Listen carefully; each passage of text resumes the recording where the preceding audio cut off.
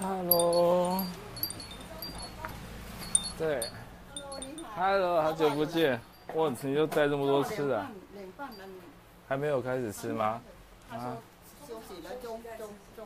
是哦，可是我饿了，我是来吃的，而且我已经开始直播了，你现在来这么多人，啊，真的啊，那没有东西吃，没有菜，好，两碗好。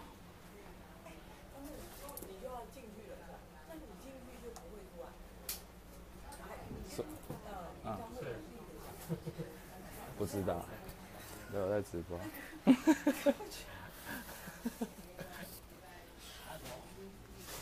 我进来这边动员招呼客人呢。是是是。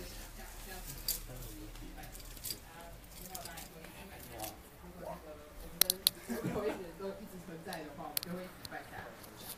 好，那个我们那个时间应该拖的差不多了，我们应该可以把麦克风交给摄影哥，请大家给点掌声。呃，各位晚安。好，大家好。然后张正也刚到了哈。啊，大家好，我们在在直播。是。那我就会先做这个整个一零号公路公益参访的这个背景介绍哈。然后其实第一个问题想问的是，有过灿烂时光的举手。OK，好，第一次来的举手。啊，还是蛮多新朋友，很棒哈！我觉得太棒了，就是办这个活动，又让大家可以在认识这个这么特别的地方。尤其张振云章还有周瑜都是我们很都是老朋友、好朋友。那其实第二个问题，我想问的是，其实想问大家，为什么今天会来参加这个这个分享会呢？应该是因为想去泰缅边境走一趟嘛，对不对？应该是吧，应该是吧？要点头啊！对啊，对啊，对啊！当然要走哈，当然要走，所以我们才办这个活动。我们在办一零化公路这个公益参访，也在办今天这个分享会。然后我觉得旅程最棒就是只有自己走过那个旅程才是自己的。然后在旅程当中所遇到的所有的人，然后一起旅行的人，还有这个主办单位也很重要，引路人哈。那就像我一样，我叫赖宿舍，我叫 Sam。那主要原因是因为我在泰缅边境从二零零三年在那里。开始到在那里驻扎服务，那前前后待了七年的时间。后来虽然回台湾，可是这几年其实一直在往返往返两地哈。那我觉得我很幸运，就是呃，俗语说得好，日久他乡成故乡。啊，我觉得在泰缅边境是我人生当中第二个故乡。那两个故乡，一个在台湾，一个就在泰缅边境。然后我有有这个机会，在邀请大家，在呃带领大家一起去认识一个我们可能还没有走过，还没有机会去。去了解、去认识的地方，那叫叫做泰缅边境 Meso 哈，OK。然后今天其实也很也很开心哦，有一些老朋友有去过泰缅边境、去过 Meso 的举手，哎，还蛮多的，对，谢谢，太好了。所以待会我们其实还是可以很轻松的，在我介绍完之后，会再请张震还有云章来分享他们这趟我们七月才刚回来的这个旅行的的观察跟感受哈。好，那我就用一点时间来介绍一下这个背景。我们这个组织叫做。Global Action，其实很多人念不出来这个字啊。Global 它是新的字，哎，把特权就按掉，马上按掉。哎，哎哎好，好像是。这个这个不累啊。好，有了，好。我直接按下面好了。我的简报简报笔都非常不熟悉。OK。好，那我们这个 globalization 其实 global 是两个字合在一起的新的字哈，就是 global 加 local，就是全球思考在地行动。那我觉得很重要一点，其实跨越国界的行动，创造更好的世界，希望自己好，也希望他人的生活可以过得更好。然后我们主要在泰缅边境长期资助这个儿童教育的部分，还有当地的社群培力，尤其我们训练培训当地的青年成为教育工作者，成为社区工作者。然后另外还有很多的合作伙伴在推动医疗啦、生态，甚至手工艺品的这些呃合作方案。那其实这都是我们整个去泰缅边境这个一零五号公路旅程的主要的，我觉得主要的内容哈，主要内容也是希望能够带领大家认识的。好。那最开始我们可能大家看得到，这是我们，这是我们的文宣，但是其实这是发自内心的，真的是觉得说，它不是一个很豪华的观光团哈，它不是一个走马看花的观光团，然后也不是我们急切的要去帮助，呃，帮助他人要去改变世界的这样的一个热血沸腾的自工团，而是真正要先从看见世界。看见跟我们不一样的地方，然后在进入这个过程当中，其实也会更走向自己的内心，会看看见自己。那这样的一个深度公寓旅之旅啊，我觉得就像今天大家来参加一样，我觉我们希望能够一起好好走过这一遭的旅程。好，然后这个我们主要的主要的。这个内容哈，其实包含了公益资助，然后服务行动，然后最重要的是我们 Globation 业在长期深耕当地，然后在推动这个服务计划，然后另外一部分就是部落生活跟生态农场，还有我们当地合作伙伴的社会型企业跟这个手作体验哈。好，然后太平边界哈，Meso，Meso 这个地方其实这是一个龚老师说的哈，今年二月跟我们去，他说一个可能连泰国人都不太认识的世界。这句话其实蛮真实的。我在英国念书的的同学，他是泰国曼谷人。那很多年前，我还在还在 Meso 长期服务的驻驻地服务的时候，他有一次就从曼谷，呃，也是搭车来 Meso 找我，然后待了三天之后，他要回，我送他去机去车站，哦，送他去车站，他要搭车回曼谷的时候，他突然跟我说，Sam，我们用泰语交谈哦，其实我泰语就是在当地练这样，然后就跟我说，Sam，我觉得 Meso 不是我们泰国的。我说是吗？为什么？他说这里大家都说泰语，可是每个人说的泰语都怪怪的。我说包含我嘛？说对。啊，但是其实因为 Meso 它其实非常接近缅甸哈，然后在两国交界，就边境，边境有一个非常非常特殊的因素，就是它有很多的外来人口移动的人。然后其实不光只是泰国人或缅甸人，其实里面还有很多不同的族群，然后甚至也有华裔。哦，从从中国南方呃云南裔的这些华裔，还有缅甸的泰北的华裔都有，那甚至在呃从南亚来的穆斯林、印度人都有。然后还有一个很重要一点，在当地其实有很多的国际职工，因为当地有缅甸难民的这个难民存在哈，所以有很多的国际职工也长期驻扎在当地。那我们一般的话，其实当然还是从台北飞了哈，一般没有人要游了，就是都这种飞，都是飞曼谷。那很不幸，以前可以飞清迈比较近一点，清迈在北边哈，然后在这边，然后这一条公路其实它是亚洲公路，就一路往北，然后到这边的时候左转，左转过去就是往缅甸。那这条公路其实有点累哈，大概要八个小时的车程，哦，七八个小时还休息时间了。但是这个旅程其实很重要，因为这个我们是坐小巴士哦，或者是坐那个当地的的长途的大巴士。听起来很累，可是这是当地人移动的速度。你想想看，就从缅甸他来到曼谷去打工的这些缅甸人，他们其实就是这种交通方式。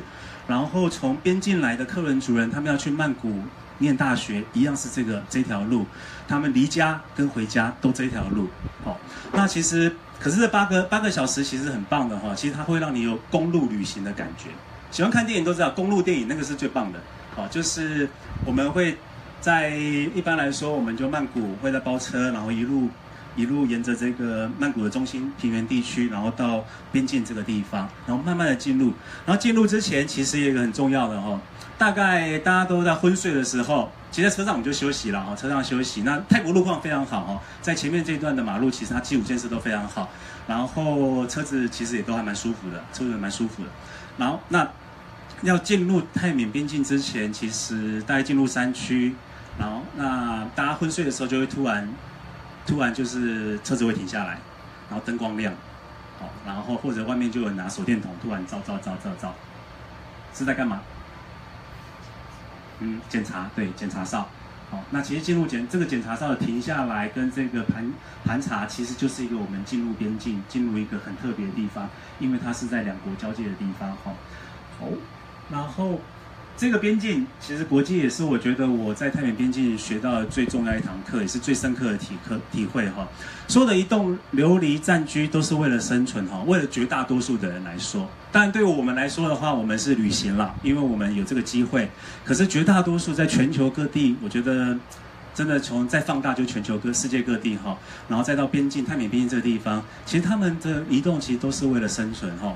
为了生存，然后为了追求更好的明天，那某种程度来说，它是很大，它当然也是为了主动争取，也是一个被迫的，被迫被被迫出走，然后被迫离开。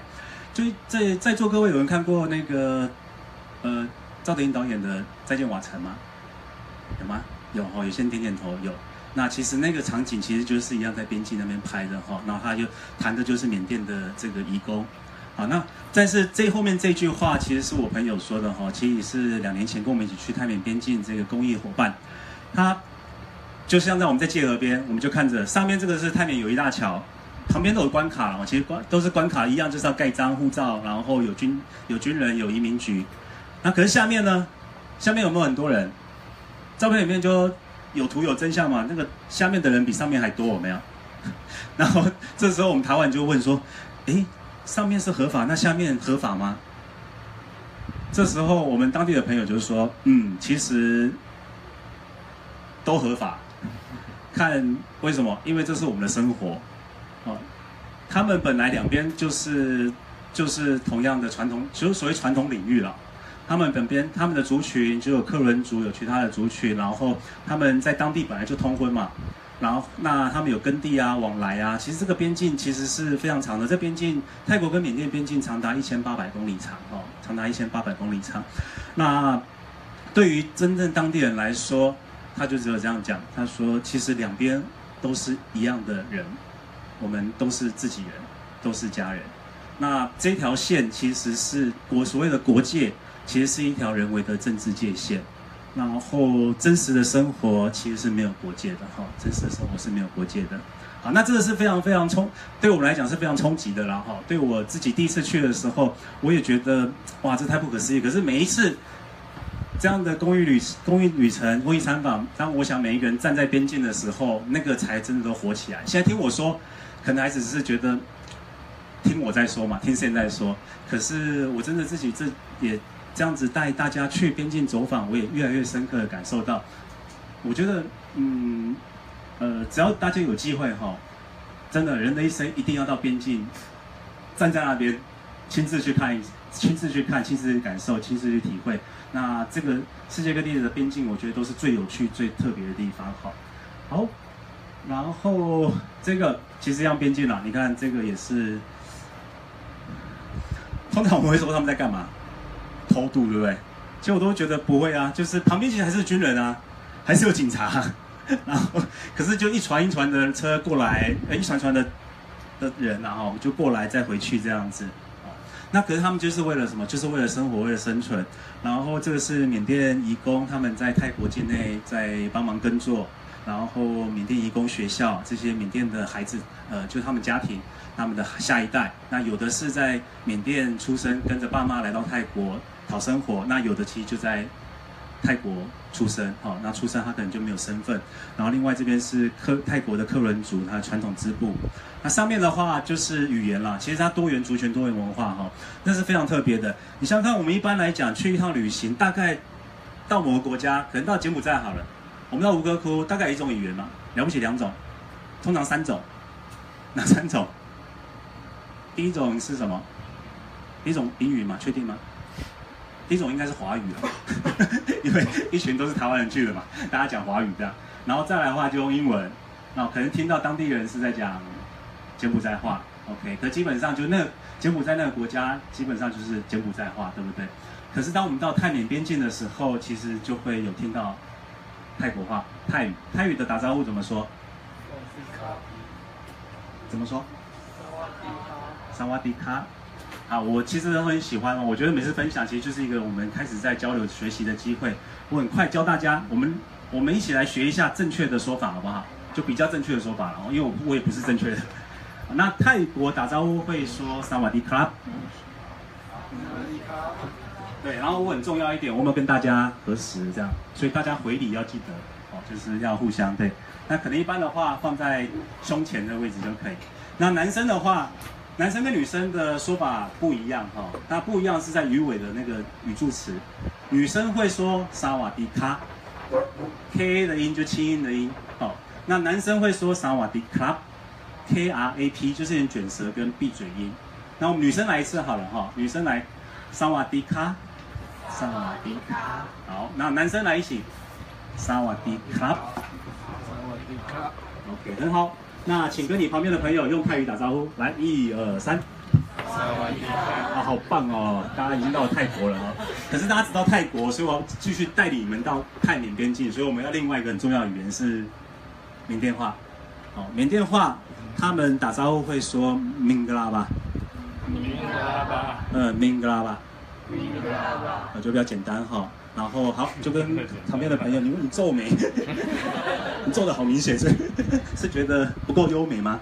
也可以用优美的啊明格拉吧。好，跟旁边的新朋友用缅甸话打招呼问候一下。好，要软一点，要软一点，大家听起来好像要要要吵架的样子啊。好，其实我们团很重要，我们出门前就是要学语言。我们到当地第一天还是在学语言。哦，可是大家通常很 confused，因为只有两种语言还不够，还有一个很重要，我们还会遇到克伦族人，当地的少数民族，他传统领域是卡瑞哦，他们叫卡瑞，那他们会说 omochop。呃，这是泰国克伦族山上的说法哈，然后一般他们有点受到传教士的影响，所以他们会握手。我们求波，啊，回我回我，哦，很好，我们求波。OK，他的其实当地的问候方式就一样，就是你说萨瓦迪卡，你就回萨瓦迪卡，然后他跟你说明格拉巴，你就回明格拉巴，然后我们求波就是互相说我们求波。好，OK，好，跟你旁边的朋友用客人主语问候一下吧。哎，握手啊，握手啊！大家要入境随俗，还是不会随俗？你知道台湾多难搞吗？来，开玩笑，开玩笑。我就要放开心胸了哈。现在练习，其实可能大家不太自在，可是我觉得真的，当我们要去接触，你看更不一样的、更陌生的地方，其实只有把我们越敞开，才有越多的东西进来。好，那今天难得，全台湾人没有几个人会用这几个打招呼，在同一个时空之下，OK 哈。好，那我们再一次客人主语，用你跟你旁边的朋友打招呼，然后握个手，来，一二三。我们好，很好。那这个就是一个很多元族群、多语言的部分哈。然后，那当然我们会多学几句啦，这这几句但不够用哈。不过真的非常有趣，就是。那我接下来就几个几个重点来跟大家做一点简单的介绍，公益资助还有服务行动。那最主要，我们 Gloriation 在当地是就是 看见了这一群缅甸移工哈。其实泰国境内有两百万的缅甸移工，啊，包含家眷，在边境的话有数十万，就含孩子了，含孩子，那孩子的量其实蛮大的。那成千上万的孩子其实到泰国来，其实非法比合法还多，因为要合法其实还要护照啦、工作证，其实都是花费哈，都是花费。所以一般来讲，他们就就是。躲在城镇，躲在村子里，躲在我们一般观光客看不到的地方，可是他们就在那里，而且量非常大。好，这就是我们去家访的这个呃绿水社区的绿水孩子。那因为缺乏身份、语言、家庭经济等等因素哈，所以他们其实没办法上学，所以就被迫失学。那甚至更困难的会成为童工跟被拐卖。那当地的话，其实也一直就用自己的力量。我觉得其实。我们不会觉得弱势者是真的很被动，其实弱势者他们一直在努力面对每一天，在克服的那困难，所以他们社区就会自办、自发办这个学校，当然也是惨淡经营，然后有一天没一天的。所以当我们看见了，我们接触了，我们开始一起去来努力，让这个教育学校可以办得更好。所以像我们就资助了绿水瀑布跟文人兰花小学，总共五百个孩子哈。那当地大概有五十间这样的学校，可能将近一万个孩子。哦，那这四间是我们国瑞选在资资助的，所以我们会去做去这个学校做公益参访，然后计划费的话，各位团团员的这个也会做直接在教育跟学校的捐助上面哈，做一改善。然后我们再看一下一张哈，这个是。另外一个也是我们在资助的，那这一群人是在泰国境内山区克伦族人，在比较偏远山上，然后也是有三间学校，绿绿竹、溪流跟大树。那我每次去的学校，理工学校跟部落学校会不太一样。其实我们主要还是去做访视，然后我们自己工作人员还是去那边推动服务计划。那大家就跟着我们一起到实地去认识、去看见。当地怎么用自己的努力量在办这个学校哈？然后很重要一点是，我们其实就在培训当地的难民青年成为缅甸义工教师，培训当地的部落青年成为他们自己的教师，因为他们可以用母语教，而且很多这种学校其实都是多语哈，就是刚刚的泰语、缅语、英语这样子在进行。好，然后这是我们的理念。其实最重要一点还是跟边境伙伴，跟他们建立这样的伙伴关系，而且是长期持续生根的。啊，透过教育，其实也透过整个社群发展跟这个服务工作方式，让他们成为他们自己社群未来发展的那个力量，好，成为专教育工作者、社群工作者，然后有能力、有想法去服务自己的自己的族群、自己的部落。好，然后我们来看一下，放学了，这是我们校车，这个校车是哪里的校车？台湾的嘛，哦，大家都很熟悉，对不对？好，因为那里有写自由时报。好，我们来看看泰缅边境瀑布小学的校车。这个校车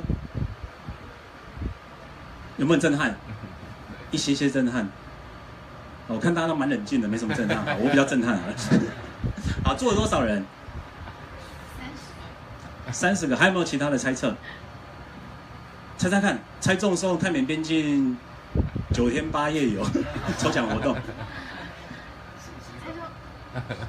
抽奖活动，我说说说真的啊，但有没有其他猜测？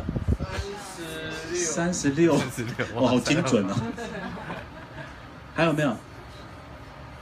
有一个点用点的，就点人头，点点的嘛。一二三，一幅四五六七八，好，看这两个头在那边，八，好八，一二三四五，四十，然后一些小的会在里面，然后前面还有，那到底有多少人呢？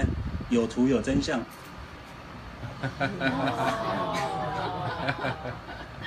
其实。瀑布小学我已经真的认识十年了哈，十年来就是看着他们惨淡经营，从一间只有一个老师、两个老师，只有三四十个孩子，到后来现在成为三百个孩子，有八个年级，好，那很不容易，而且那个单子越来越重。他们其实就是没有政府嘛，一般我们想教教育，我们想到是什么？就公部门，不然就私立。可这个很简单，这是政府不存在，然后市场失能。哦，一般这种贫穷的是移工家庭，他们一般的一天的薪水不过一百一百多块泰铢哦，泰铢跟台币差不多哈。那可是其实我每次看到这个孩这些这个校车在接送孩子上学下学，其实我心里是喜悦的，也是难过的。我喜悦的是太好了，还有这些孩子可以上学。可是我永远一直很难过的是，能够上这台车的还是少数幸福的孩子，因为失学人口还是。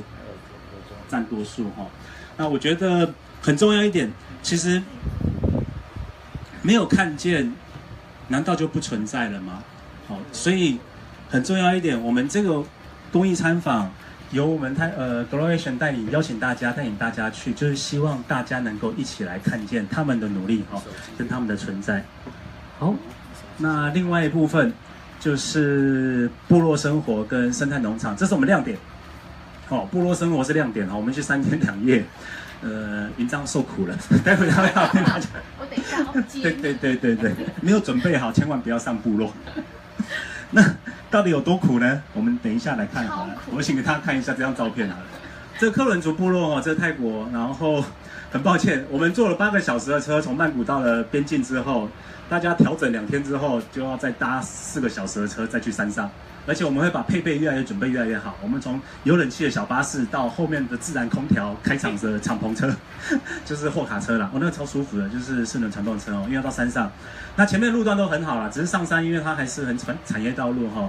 然后因为这些部落是真的很山里面很传统的样子。这张照片大家有没有觉得似曾相识？有没有很像一张电影的海报剧照？赛德克巴赛德克巴莱泰里面进版。哦，然后我们这个拍这个照片的朋友叫张之心哈，然后那当时刚好两个，呃，大学生去哈，那医学院的学生，然后其中一个是是原住民的学生，哦，他爸爸是不原原住民，他突然看着这样子，他就说，原来我的父执辈的生活就是这个样子，因为对台湾来讲，部落其实就是只剩下文照片、文史、文献，或听爸爸就是父执辈那边在口述。然后另外一个年轻人讲的更有趣，他一看到这个样子，就是我们去部落拜访，然后因为这个村是比是我们呃服务的隔壁村啦，所以他们也基本上就没有外国人去，所以那次也比较特别，是他们就我们顺道去拜访，然后他们就出来看我们，然后所有的村民就慢慢慢慢慢慢在那个村的那个空地里面就就绕一圈又一圈，两圈三圈，然后当我们在讲我们观看他们的时候，其实我们更多是被观看的。好，然后可是这个项目其实我们没有，我们是开放的，我们是没有抱那种特殊的目的在哈，所以我们时间也放很慢，我们其实就是去那边慢慢的去做一些交流跟互动。那这个村也比较特别，就是我们今年开始资助他新的老师在那里教书哈。然后这个年轻的学生讲的很有趣的话，他说：“我觉得我好像来到那个 Discovery 的实实境现场这样。”就是平常在电视看到的，突然就出现这样，他置身在其中。好，那可是我觉得对对我们来说是一个很重要的经验哈，因为这样的村落其实都在消失当中，必然的消失。因为当传统遇上了文明，当文明进入我们，其实有一件事情哈，大概我们待会可以很多时间哈，随时你想提问或打断我都可以。有人常常都会人家问我，我们这样会不会打扰他们？我们会不会打扰他们？各位觉得呢？会不会打扰？当然会打扰啊！我们本来就去打扰他们的。啊。可是我觉得，所以不用。我觉得那种说你不承认呐，或者没有意识到你在打扰的，这种就就打扰的很惨嘛。那最多就是观光客就是这样子嘛。可是我觉得我们是公益团，而且我们是长期在生根在当地的。我们其实当然是打扰，可是我们是有意识的、有限度的，而且是好好的打扰。那最其实最。呃，我觉得最最负面影响的打扰是什么？你知道吗？就是那种主流社会的文明的进入。我们不去，其实宗教会去，哦，佛教传教士会进去。我们不去，其实商人也都进去了，去那边做买卖，去那边做不公平、不对等的买卖。然后我们不去，其实公部门也会去，然后做了很多这样的限制。所以我们基本上去还是以 NGO。以这样服务组织长期要跟他们做这样的深耕教育服务的方式去的哈，OK，那待会我们可以再继续聊，再继续聊。好，那像这个我就用画来给大家看哈。其实我觉得最棒还是这个热带雨林，如果大家能够置身在当地三天两夜，然后这是一个也是一个呃医生年轻医生写的很棒哦，就是雨林部落，然后槟榔叶的香气，然后缭绕炊烟，架高的被架高的抬高的木造。木造高脚屋，那这是一个锦如妈妈，她用绘本在旅行，然后每到一个地方就开始画画画画这样子，然后这个大概也就可以看出来了，这个是最高级的规格的，这是村民家，我们都借宿村民家。那通常你被什么叫醒？每天被什么叫醒？鸡对，然后还有猪啦、狗都在旁边这样绕来绕去，整个村庄就是很自然的样子哈。然后吃他们还是一样，就是。这样子啊，就是炭烧饭，哦，炭烧炭烧汤，然后这个亮点，我们这个旅程的亮点，没有讯号，没有 WiFi，没有热水，没有电力的三天两夜，这个是完全亮点了。我觉得，通常很多爸妈说好快去快去，然后孩子说我不要，可是我觉得很棒，就是完全可以抽离，然后你看到我们吃的东西很简单，然后真的点蜡烛。啊，然后这样的生活其实会把一切都放慢哈。我们那个步调其实就是张震说的好，就是我们坐那个搭飞机，飞机是非常快，移动非常快的移动移动方式哈。然后到曼谷这么高度发展的大都会，然后再搭着车慢慢进入到边境，然后在边境的两天，然后我们再到山上去，然后把大家放放放到最慢的情况。哦，那这样的这样的一个状态，其实也是一个很特别的情况哈。然后我觉得我们去是去跟他们学习，因为我们回来其实不断在心里一个声音，就是人，我们人活在这个世界上，活在地球上面，我们真正需要的是什么？那我们需要跟想要的这个差别，我们要去找出来，不然我们永远会觉得不够不够。好，但是最美好的东西，往往就是在最单纯的生活里面。好，那另外一个就是我们也在当地跟合作伙伴在推动这个生态农场哈，我们叫欧米欧提生态农场。那欧米是什么意思？就吃饭。欧提是喝水，这是客伦族语哈，客伦族语。那友善耕作、富裕山林、提供安养照护的所在。这个计划也五年了哈。然后这是我们的工作室，那这是之前的公益团。那每一次会有不同的手作课程哈，有时候是耕作，有时候是采集，然后他们比较特别哈，是在干季的时候可以做。他们在干嘛？猜猜看，他们在干嘛？他们在砸稻草人，对不对？编织。编织编什么？屋顶。编屋顶，没错。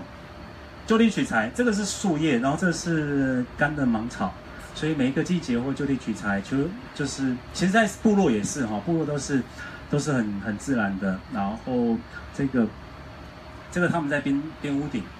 大家都没想象你可以会编屋顶，后来编的这超疗愈的，每个人都编的不想走，就开始进入那个连连南艺大老师也是这样编哇，然后在他就就开始变得，大家开始都不会了，可是越做越好，越做越好。像我们一团哦，对，还有一个很重要一点，我们团都非常的小哈，我们都是九人以下，所以我们甚至有的团就是七八个，所以我们那个干扰的程度其实非常非常低哈。为什么？就是我们把团弄得很小，然后我们这么小的团，我们才有办法彼此去认识，然后我们进去一个地方跟离开地方，可以比较自然的、自然的的的移动哈。好，那我们八个九个人，一个上午编了几块，编了几片，大家猜猜看，屋顶大概就一米半这样，编了五片，然后这样一栋要一百六十片。然后劳劳动量非常大，劳动量非常大，可是就是很舒服哈，很舒服。然后一个朋友去了，就是他也这样，他去山上或者去那个生态农场，甚至我们会经过难民营哈，他就说：哇靠，你们整片都绿建筑哎，全部都是绿建筑，不用标章了，这真的是标准绿建筑。那其实每个哦对，每个旅程大家会大家的兴趣会不一样，可是我觉得也很棒。其实我每次也在透过各位。的经验，各位的眼中，各位的参与，在有新的学习。像今年二月和平团有一个很特别的朋友，他叫刘曼怡，他就最近写了一本书，就是跟着呃布农族回到他们的旧部落，在造屋，哦，叫刘曼怡回家的路。然后他超兴奋的，他就到处去看这个。屋顶怎么编啦？竹子怎么编啦？然后器材怎么做啦？然后我就看着他，然后甚至他就跟着当地的部落祈祷，他们顺手一拿就一把小刀，然后竹子拿出来就开始看他们在旁边做东西这样子。那其实有很多可以学习都可以看的。好，那我想给大家看一下这生态农场，这个是五年前的样子。哦，其实当地也是开始过度开发了啦。然后整个缅甸开放之后，外资的进入，其实只有你只会看到。越来越多的森林消失，然后越来越多的这个呃旱灾啦或水灾发生哈，然后这个是他们当地都旁边其实都在种甘蔗、玉米、经济作物单一经单一的经济作物大片大片的，然后里面都是缅甸人、缅甸义工，然后都没有防护，在喷农药，然后他们在里面就是这种，其实就是等于像奴工一样了，然后真的你要亲眼看到你才会。知道，那我们当然因为长期在那边，我们很清楚，所以我们才帮助社区一起办教育，希望他们孩子能够脱离这样的一个贫穷，脱离一样，脱离这个这个整个经济结构。好，那这个就是它也是一样，就是玉米田种了好几年，然后我们后来一个机会，我们就找到这块地，然后就要跟梁树很重要，梁树姐，我们要把它做成生态农场。其实这去年拍的，我的，我其实。这是雨季过后了，所以你看很绿哈，然后每一年就会看到那些变化、那些改变在发生着啊。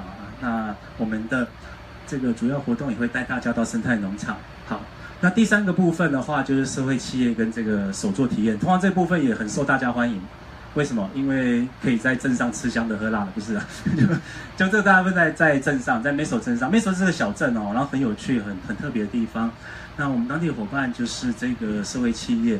哦，那真实的在地体验有一个市集采买跟手作料理，我们会在当地一个复合式的叫 Borderline Shop，它是当地少数这些妇女团体他们共同经营，然后聘用当地的缅甸移工，哦，然后他们可以在管理这个店，然后他们有手工艺品，也有一个 Tea Garden，然后上面还有缅甸画家的艺廊，是一个复合式的一个一个店，然后这家店其实也很久了，十二年十三年了，而且是 Lonely Planet 唯一 Meso。购物推荐，啊很重要，因为十几年前其实我们我也是当然那时候就开始参与哦，用自工的方式、朋友的方式在参与。我当然从来没有听过社会企业，我们只是觉得哎，好像应该有个地方，我们来试试看，让这些少数民族妇女团体的手工艺品可以一个展售的地方。那后来楼上空间木造房，二楼哎有缅甸画家，那我们把它做成艺廊吧。然后后来后面又有空间，有朋友说哎，那我们把它做成一个餐厅吧。然后我们一些轻食，这是。这是大家做的哦，这是团员们自己做的哈。那我们来看看他们怎么做的。来，这是烹饪课，啊，这是一个医学生，文红倒带的方式啊。那个菜怎么来的？诶，好，这个 这个就是在后面的厨房，还有烹饪课，会带大家可以自己挑菜，然后学习怎么做烹饪课。然后在他们做的课程，这都是团员。然后这当地的经理跟有厨师，他会带我们到市场去采买，会教我们大家怎么煮哦，不用担心。然后这是传统市场，传统市场最棒哦。我说，我常建议大家，如果去旅行的时候，一定要一个人去逛传统市场，哦，那是最最最有趣的地方。然后这张，这张云章拍的哦，这全部都我拍，都你拍，对对对，都云章拍的，完全就是用运用这样大家来。然后这张因为。太有趣了，云章就捕捉到他，他们有没有？大家觉得他们认识吗？他们是应该一起去采买嘛，对不对？有人摇，有人点头。其实不是啊，他们是刚好真的走在一起，然后云章在后面就把拍照拍下来。然后在这传统市场里面哈，然后其实就是可以让大家去手做去体验。然后另外一个部分就是这个呃曲木啊的这个呃他的手织品的工作坊。然后这是一个团员，他很棒，他自己是美术系毕业的，他就画这个画这只猫。然后旁边这是他们做的，他们之前做这个小呃小饰品，然后这次做书签，这次书签比较难嘛，因为是第一次尝试，蛮好的哈。好，待会云章也会可以再跟大家分享。那这个疗愈手作，我觉得学会慢。其实我们的行程其实很多哈，内容很多了。可是很重要一点，其实我们就是希望放慢。然后光大家在看我们的行程介绍的时候，曾经有妈妈就说，她觉得我们行程会不会太空啊？他很担心，他觉得好慢哦，然后很多空白，好像没有那么通，没有那么精彩，没那么充实。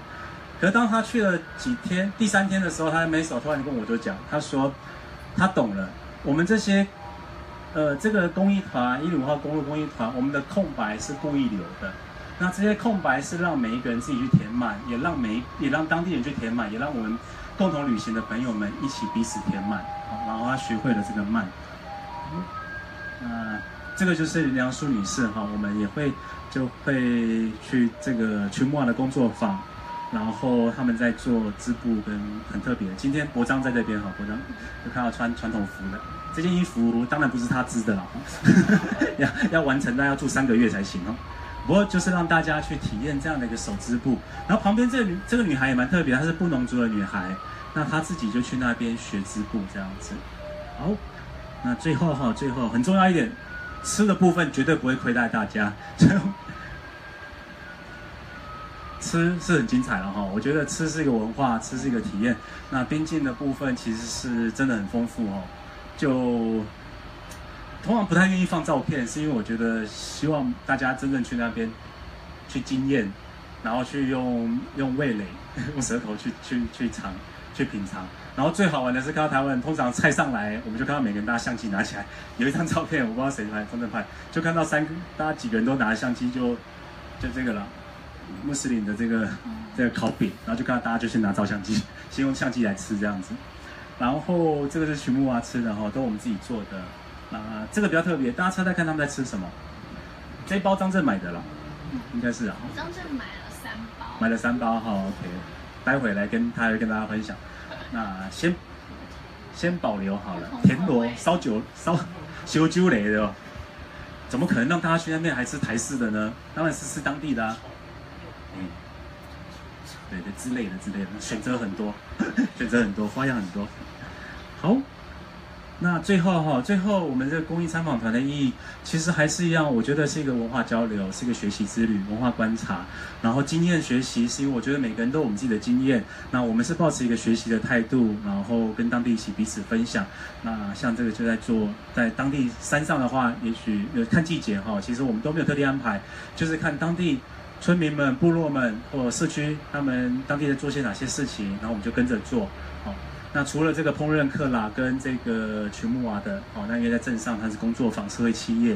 那另外的话，就是我们也是公益捐赠的部分，然后会参访其他的公益团体，哦，没到诊所、医疗团队，然后还有重要一点，我们就一起来行施。我觉得最重要一点，还是找回我们人跟人之间的关系，还有我们人在生活在这个土地上、生活在这地球上的意义是什么。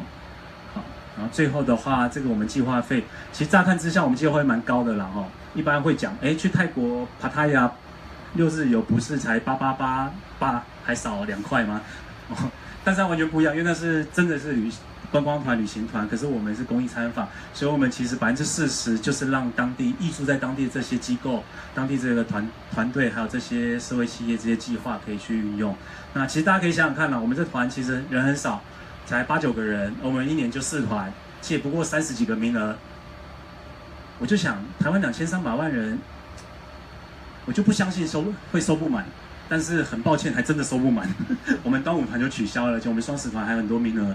我我觉得可能还是就机缘吧，我觉得只是时间还没成熟，那还是一样，就今天先让我用这样的故事，用语言、用文、用照片带领大家这个旅程。可最最棒、最棒的，我相我还是诚心诚意邀请大家，如果能参加我们公益团，就跟着我们一起去；如果没有的话，我也随时鼓励大家，欢迎大家就到边境亲自去走一趟，去那里好好的认识那里。好，好，那最后的话哦，宣传一下八月团。还有名额，八月团只有五个人。那我前同事跟我讲，嗯，应该招不到人了。我说，呃，好，不要放弃，活着就有希望。那八月十一号跟十九，这个很特别，因为这是一个艺术治疗师，他带着几个青少年一起去的哈。然后我觉得这个更这个很特别，然后我也很喜欢，想想再邀请大家可以去，而且我们团很开放，我们团不用团进团出。所以我们可以在曼谷相遇，我们可以在 Meso 相遇，然后很多时候都有啊，像，哎，就是国章，还有印章也是，就几个都是去缅甸啊，或去清迈就去旅行这样，好，然后我觉得人生的相遇就是如此，真正的旅程就是如此啊，我们在某个时空、某个时刻能够同行，我觉得那就是最美好的。好，然后双十团，双十团还有很多名额，然后尤其这一位他第一个报名，他刚才跟我 complain 说，怎么不赶快？通知买机票呢，机票会越来越贵啊。然后我只好跟他说，抱歉，因为你是第一个报名，上个礼拜才第二个报名，所以今天有这么多人来，你赶快揪，拜托，惊喜，欢迎哈，就加入。然后 OK 了，OK 了。我说没去是时候还没成，还没成熟嘛。我们这个，你看张哲跟于章跟我们一起去，然后大家有很多朋友去过再回来，我们都成为好朋友。这么有质感的团，这么有口碑的团，就赶快来吧，那不然就等明年哦，而且明年还不确定哦。好，这最后一个哈，这是一个好朋友，他也是跟我们关注我们很多年了哈，一个陈宇莲，那文字工作者，啊很多很多年，然后他也是今年呃去年去年底跟我们走了一五号公路，那他说了哈，他写下这个，作为一个资深背包客，我选择走一趟一五号公路。因为我知道，我有 Globation 如此长期深耕当地，我才能随着他们脚步贴近边境人们及当地最真实的样貌。然后补充说明一下，其实也不是随着 Globation，也不是随着 Sam，其实我们还是随着当地边境的人们，因为那里有很多好朋友在那里，然后我们彼此认识，有那个情感，有那个连结。那我很多人问我为什么会办这样的一个公益参访团，我觉得很简单哈，最早的初衷。最早的初衷就是因为我想要回泰缅边境，然后我没有钱买机票，我没有钱做这个旅程，然后我就觉得邀朋友揪个团，然后请大家支持我的机票，然后就回去这样子。那我们两年前才成立 Go Location，然后我们就决定继续推动这个服务计划，然后也让公益参访团能够更更固定下来哈，更成型。那很简单，这个理由就是我觉得我。我们一群好朋友跟当地已经有连结，然后继续在耕耘当地。那我希望我能够邀请新朋友们跟我一起走一趟泰缅边境，认识我在当地的这些老朋友，然后我们彼此之间成为好朋友。好，好，那我的分享就到这边结束。然后欢迎大家在我们脸书按个赞。我通常都没有玩这个哈，可是今天难得的场子，请大家把手机拿出来。哦，按过赞了吗？还没按赞的，赶快按一下，拜托，因为我们赞数还是很少。然后欢迎大家关注我们 Globation Taiwan 哈，然后在网络上，我们的官网都有一零五号公路公益参访的这个详细说明。然后欢迎大家也一起来资助我们在泰缅边境的教育服务行动服务计划。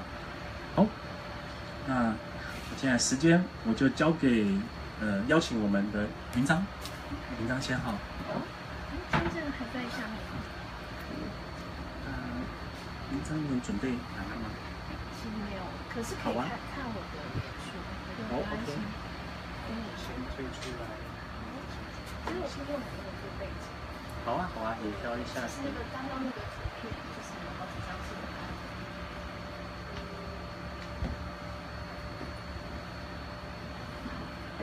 先先定在这里。好。是云章，呃，我是这一次的团员，然后我也是灿烂时光的共同创办人，就我是张震的太太。那老实说，我跟张震这次呢，跟 Sam 一起去边境，我们第一天就吓到了，对，就是完全不在预期中。其实我们跟 Sam 认识非常久，我跟梁叔甚至认识呃十几年，就是我当年非常年轻的时候，就曾经想追随他的脚步到边境去，他去当工作人员。其实那时候他有 interview 我，而且我好像还录取了，就是准备要出发前呢，他那时候他在柬埔寨，然后柬埔寨就爆发内战。所以我后来其实就没有去成。然后这一次要，当然中间我一直知道他们在做什么事情，就来来回回我们都还是有一些交流。然后等于就是我知道他一直都在边境做一些奇怪的事情，然后包括后来结了婚、生了小孩，然后做全模化，我就说哇，怎么这么厉害？然后我甚至还捐过一台缝纫机给他，让他带回边境。那但是这一次终于就是其实是先开口，那不然我跟张震大家也提不起勇气说。呃，去那边，然后呃，梁树后来就传了一个讯息给我，就说我已经等你二十年了，你也应该来了。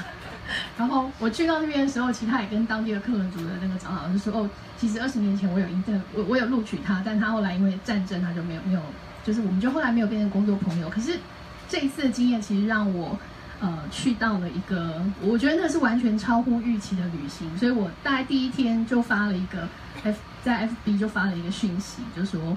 呃，就是没有准备好是不可以来的啊，特别是上部落这件事情。其实其他的部分我觉得都还好，很愉快。像那个刚刚讲到做菜啊、慢活啊、做纺织那个编织的部分，我觉得大部分人会很喜欢，因为它那个步调是非常自然的，然后跟你在台湾去上那种很高级的餐饮课是不一样的。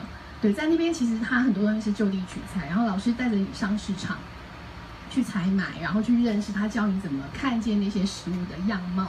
还有最精彩都是路人，就我们就会一直看着路人，然后就一直追着路人的背影，或者追着那个摊贩拍照。然后路人，可是路人我觉得很厉害，他们就很自然，就是怎么样，你看着他，他就对你笑，就是也不会怎么样。那像 Sam 是比较谨慎、很很有自觉的那种人，所以他就会说不要一直拍，哦，不要那个小孩子不要对着小孩，那小孩明明就很可爱，玩的就很疯，为什么不 不可以？然后。但是我觉得他的提醒是对的，就是你有意识到自己做这件事情，你是不是在消费他们的时候，你就会更谨慎。那当然，我们也拍了很多小孩的照片，对。但是可能要不要发那个是可以再讨论。可是这个互动的过程，我觉得很棒的是，因为我们后来知道百分之四十的团费，其他是就是捐给我们去拜访的那些地方跟小学，所以你就会觉得这个是一个有任务的旅行，而且你是一个有用的旅客。就是你不是来消费他们的，事实上，你的每一次参访对他们来说，就是一个让他看见世界的机会，因为他们这些孩子，甚至这些老师，他们都没有机会走出那个地方。对我记得我在绿水小学就跟一个英文很好的老师聊天，然后就他就在跟我聊说，其实他他们没有办法找到泰语老师，所以他们在泰国的土地上，可是很多人是不会讲泰语的，因为他们学校请不起泰语老师。他说我们一个。克伦族老师来教克伦的东西，嗯，或教缅语，他们会讲缅语。一个月的薪水大概是三千块，对不对？三千块泰铢。可是如果我们要请一个泰国老师，他一个月的薪水是七千泰铢，所以他们请不起。那你想想看，在泰国土地上，如果你不会讲泰语，那你能找到什么样子的工作？可他的英文非常好，所以我就跟他说，没有关系啊，你可以上网。就很天真的说，你可以上网，然后你就可以，你知道 Coursera 吗？你知道 TED 吗？就是你可以上去学很多任何你要学的东西。你英文这么好，然后他就淡淡的说，可是我们没有网络。对，就是我觉得有一些匮乏是，嗯，作为一个台湾人或作为一个非常便利生活的人，其实是没有办法想象的。对，那我觉得 Sam 他们把我们带到那个现场。而且他们其实也不会因为，我我觉得你会看到另外一种富足，是他不会觉得我很穷，所以好像我就很糟糕。其实他们的，我觉得他们很安于自己的那个状态。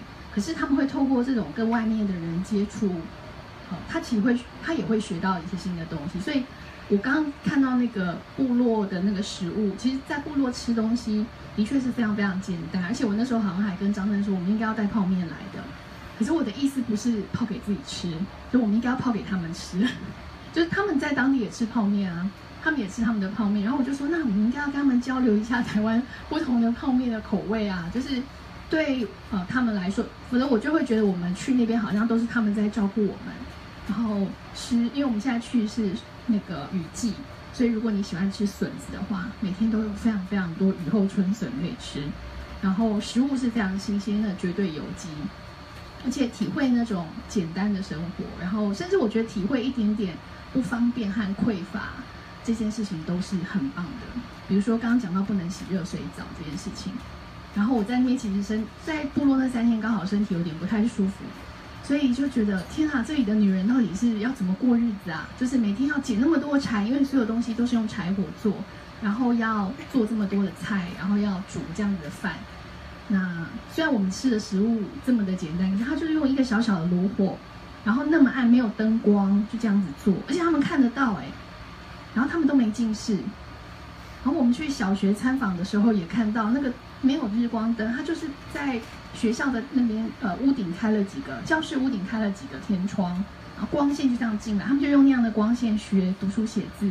可是博章，博章他们帮小朋友做，他和他的朋友很感人，他们两个医生跑去帮小全校小朋友做健检，身高体重视力，很可爱。那些小朋友因为没有做过视力检查，他们以为是考试，所以就不知道该怎么，就很紧张。然后旁边的人就开始背，就是背那个视力表。然后后来就就透过翻译跟他们解释说，不要不要背，就是看得到，因为就有小孩在旁边抄写，好像想要想要把那个图都背起来，等下被考到的时候不会答错这样。就是，然后后来还跟他们说，没有看得到就看得到，看不到就看不到。然后那时候我记得好像有一个小孩被你们发现是，他连最大字都看不到，他说这怎么可能？就近视这么严重，就零点一都看不到。后来发现不是，他是看不懂那个图的意思，所以他们就很快的写了数字。写在旁边，然后就问他说：“你看得到这个吗？这是什么字？”然后他就可以念出来，然后他们就放心说：“哦，还好他视力没问题，他只是看不懂，就是不知道怎么比。对他不知道，他没有学过。对，所以呃，等一下可能博章也可以分享一下，因为博章去的次数其实更多。那对我来说就是一个非常刺激的体验。那我觉得 Sam 他们真的心脏很强，就敢带我们这种毫无准备的人上山，而且其实就是一路都是平安的啦。”对，就是，呃，安全部分，我觉得大家不用太顾虑。可是需要准备的是你自己心里，对于这种所谓的文明跟文明的界限，还有你自己的舒适圈，能不能走出舒适圈的这样子的心理准备。那我觉得，这三天两夜没电没热水，对，对，很好。你知道没电没热水，就是你要准备没有热水的生活。就是你没有热水洗澡，那电的话呢？我们都有手机嘛，手机其实都有手电筒。但我后来发现，比较聪明的人就有准备头灯，所以出门的时候或者晚上你要去上厕所，连厕所都是在房子外面。就是你要去体会 三四十年前可能台湾也是这样的生活。对，就是可能一些登山需要的一些小物，如果呃你你有这样子的习惯，对，就就可以做一点这样的准备。然后我甚至不是睡在，我甚至不是睡在房间里面，因为他那个，呃，对我是睡在外面，就是房间的外面有一个像佛堂这样子的空间。不过睡在那边其实很舒服，就很凉快，而且你会听到各种声音。我已经很久，我是一个睡眠很好的人，我很久没有失眠，但是我在那边在山上的第一个晚上就失眠了。失眠的原因是我觉得大自然太吵了。大家都觉得大自然是很安静，对不对？错。雨季的大自然是有青蛙的声音，有虫的声音，就是那种虫鸣。然后，呃，到快天快亮的时候，就会有鸡的声音，而且一只鸡叫了，其他的鸡就会开始跟着叫。所以其实是很很吵的，可是它就是空气非常非常的干净，然后那个环境，而且包括你后来走进那个雨林，那种感觉就很像，对，很像活着在走那个 Discovery 的感觉。然后那些人也都很自在，可能我们住的那个家庭是没有卫星，可是我后来走到后面的几个房屋，我有看到有人的家里是有那个小小耳朵，所以我判断他们家应该是有网络，就是他们是可以上网。那没有电是怎么回事呢？其实还是有一点点电，那边有人在用太阳能电板帮手机就是充电，还有另外是他们会用油，就是用油好像也可以发电。对对，只是我们那天我们那天住的那个家庭是没有，对，所以就没有这些东西。嗯，可是这种体验就是完全的切断你的所有的跟文明的接触，就是你不能上网，你也不能发图，然后你完全不知道等一下要干嘛，就是常常你知道等 Sam 跟你说，哎，我们接下来可能要去哪里？对我觉得这个过程是可以让你去思考，就是真的是完全的放空，然后那个放空的过程当中，又会有一些更深的体悟，就是真正的空在那样的森林里那三天两夜。对，那做饭的部分，我觉得这种体会是很不错的，包括呃，这个没刚刚没有提到，就是其实。做这些菜都是我们自己决定的，他们会提供我们一本去那个 Borderline Tea Shop 的食谱，很很棒很很棒的食谱，然后你可以从那个食谱里面选，呃，一道甜点，一道沙拉，一道主食，然后一道饮料，然后你们选好了之后呢，厨师就会带着你们上街去采买，然后这些东西华新街菜场都有，对，所以其实下次有机会。对，万丽可以学一下。其实我我后来就发现，哎，这有一些东西真的是这边都有，所以其实都买得到。如果你回来要再复制，那是可能的。然后我们下面有一位正在准备的泰国姐姐，非常热心，等一下会提供大家一些真正的泰国食物，就是热心的提供。对，那可是当然有一些东西台湾也许比较不容易取得，比如说这个是椰子，打开那个椰子，然后有很厚的椰仁，台湾的椰仁通常是比较薄的。但如果你多打开几颗椰子，可能就可以。对他们这个是比较厚的。那其他东西真的是台湾都有，而且透过这个自己做的过程，自己做自己吃，我觉得他又找回那个人的连接。就是我觉得在边境很多事情，就是你要做才有，就是有做有有的吃。那包括我我在农场也负责，我们有工作，然后我做的也是沙拉，所以又在农场又学了一道农场沙拉。那它不是那种所谓的旅行团，就是帮你把你什么每一步都照顾得好好的，时间到就坐下来就开始吃或干嘛干嘛。那在这个体验当中，其实都是很多随机的挑战，或者你也可以跟 Sam 说，哎，我可能想要干嘛，可不可以安排？那 Sam 可能就会说，好吧，带你们去一个私房景点，然后去看夕阳，或者是对做这样子的事情。那还有一个很珍贵的是，我觉得在当地接待我们的这些朋友，他们都不太像是服务人员。就是他不会对你很客套的，一直对你笑，或者是怎么样，就是有没有什么需要服务的，就是不是他们不是这样子的人，他们就比较像是说，哦，你是 Sam 的朋友，所以那那我们应该也是朋友，然后你就会被纳入那个可以交谈，然后可以讨论，然后可以询问的那样子的一个系统。对，我觉得那个是这个旅程最最珍贵的部分，就包括说，嗯，我们也后来认识了我们我们的。帮我们开车的朋友叫做鹏跟伞，然后伞的女朋友的太太也出现，然后他太太在一个法国的餐厅做一个 NGO 的工作，非常漂亮一个女生，然后我们就在跟她讨论，我就跟她诉苦说，我们上山的时候我好苦啊什么之类，她说你只是去最近的一个部落耶，我家还要再开进去七八个小时，然后我就觉得哦天啊，这是什么生活？但是他就会告诉你说，他也去过哪里，也去过哪里，然后但是他觉得最棒的地方就是那个没有水。呃，没有没有热水，没有电，然后充满各种森林的声音的地方，因为那个地方是可以让你释放你的野性的地方。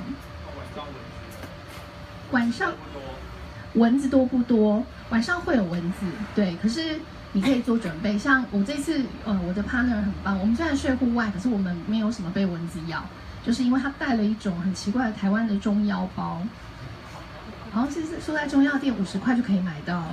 真的在中药包在那里，蚊子就只会在旁边飞，它不会叮你，好奇怪啊！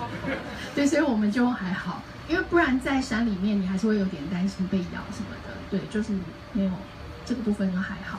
嗯，还还有问题吗？还是接下来我们换张震来分享？女生的部分可以可以问我，如果你有担心什么，就是因为我是比较，我觉得我自己是有点麻烦。去了之后才发现自己很麻烦，所以我就回来有检讨，就是我的生活是否太 太就是太需要太多物质了这样子。对，然后我觉得那个部分的改变就还还蛮好，就是说，哎，是不是需要这样这样这样？对，我回忆一个好了，好，聊，就在部落，尤其是部落啦。可是部落那个真的是我们很特别的人生经验，因为我们已经生活在文明、生活在方便里面了。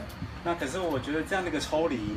反而是我们人生最难的经验。然后对我自己而言，我觉得我在它里面能一直混这么久，其实因为就是有部落，嗯，因为部落让我回来，觉得活到像自然，活到在很很很自然的那个状态。然后有一个很好玩的，我们去年也是，哎，今年今年一个朋友是前破报记者，他去了部落第二天早上就看到淡淡的抽根烟，然后就跟其他人说，原来我们是一群没有生活能力的人。对对对，去那里体会自己的无能。是，当然因为我们现在是分高度分工啦，所以很多东西是别人在照顾我们。那我觉得这个其实这个体会其实就很深刻，而且对我们来讲很有意义。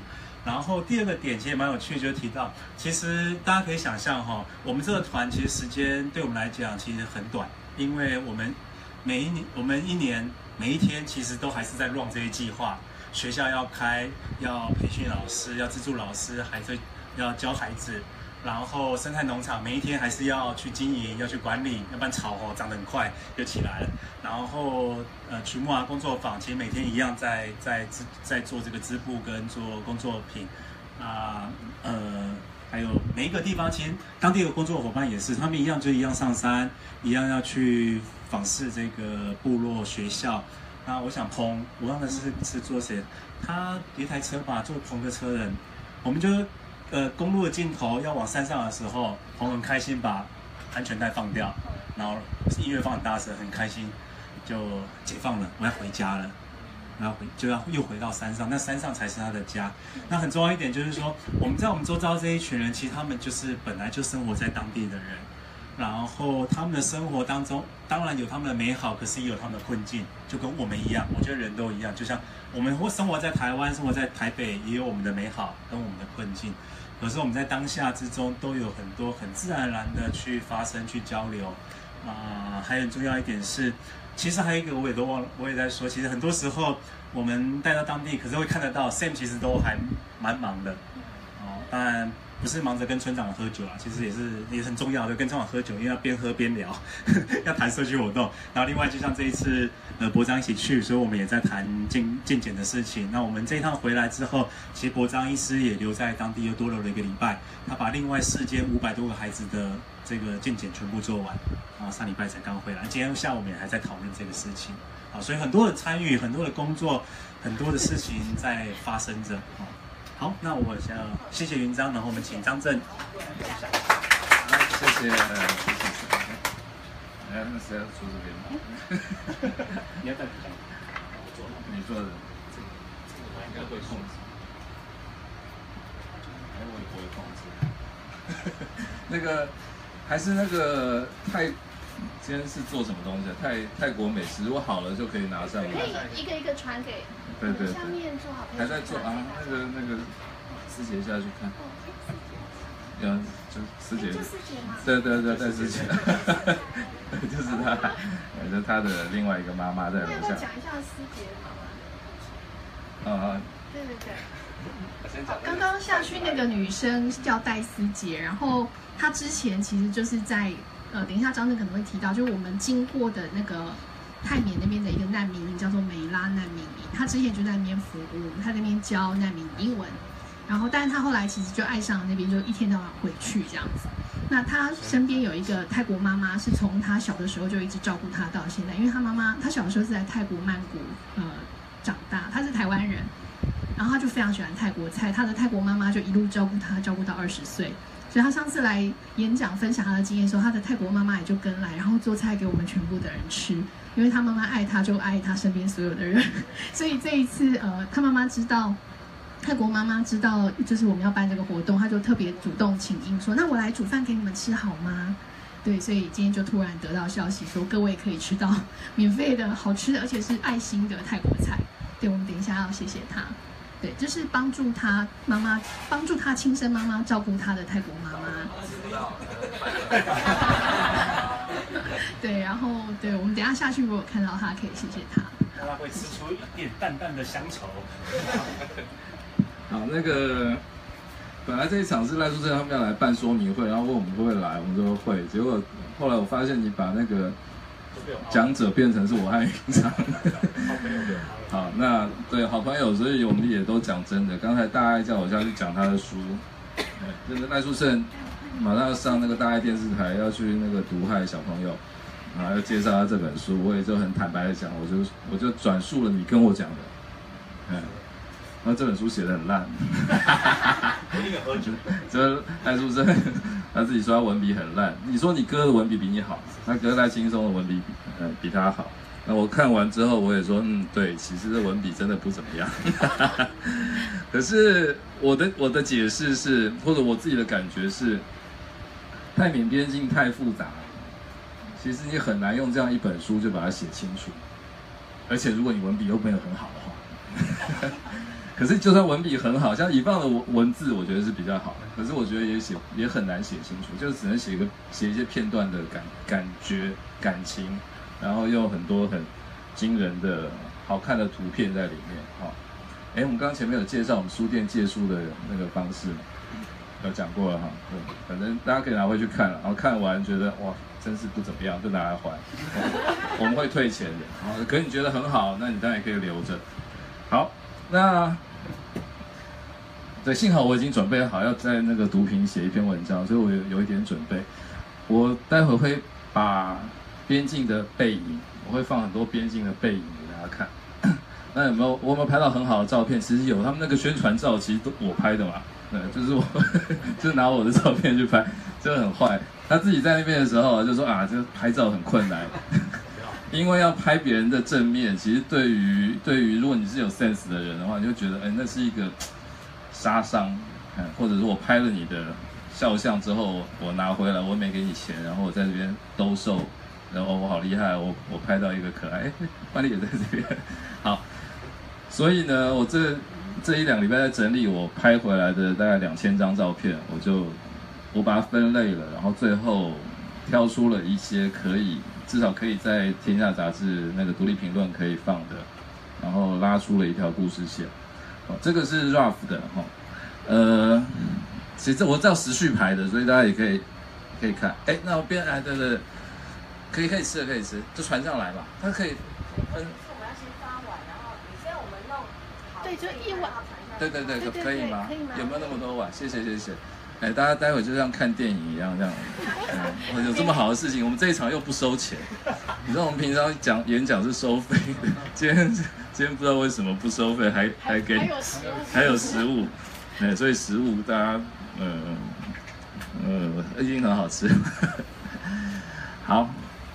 这是观光客入境，这不用特别看哈。这是泰国的机场，然后那有些人就马上需要抽烟，就是我跟 Sam 就跑去抽烟。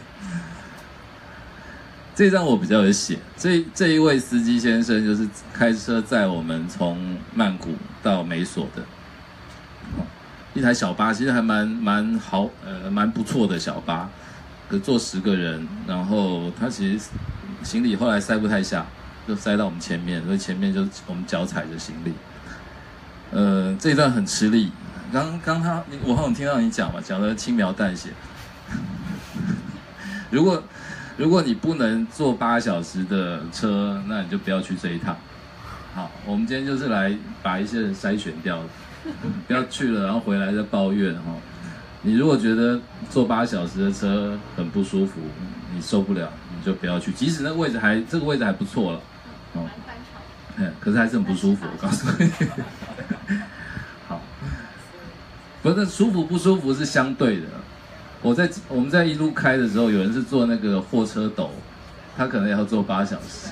我们坐在这里面，冷气还很强，然后椅子很软，八小时。可是因为你知道我们是那个豌豆公主，所以 所以那已经非常难。那更不用说这位司机大哥。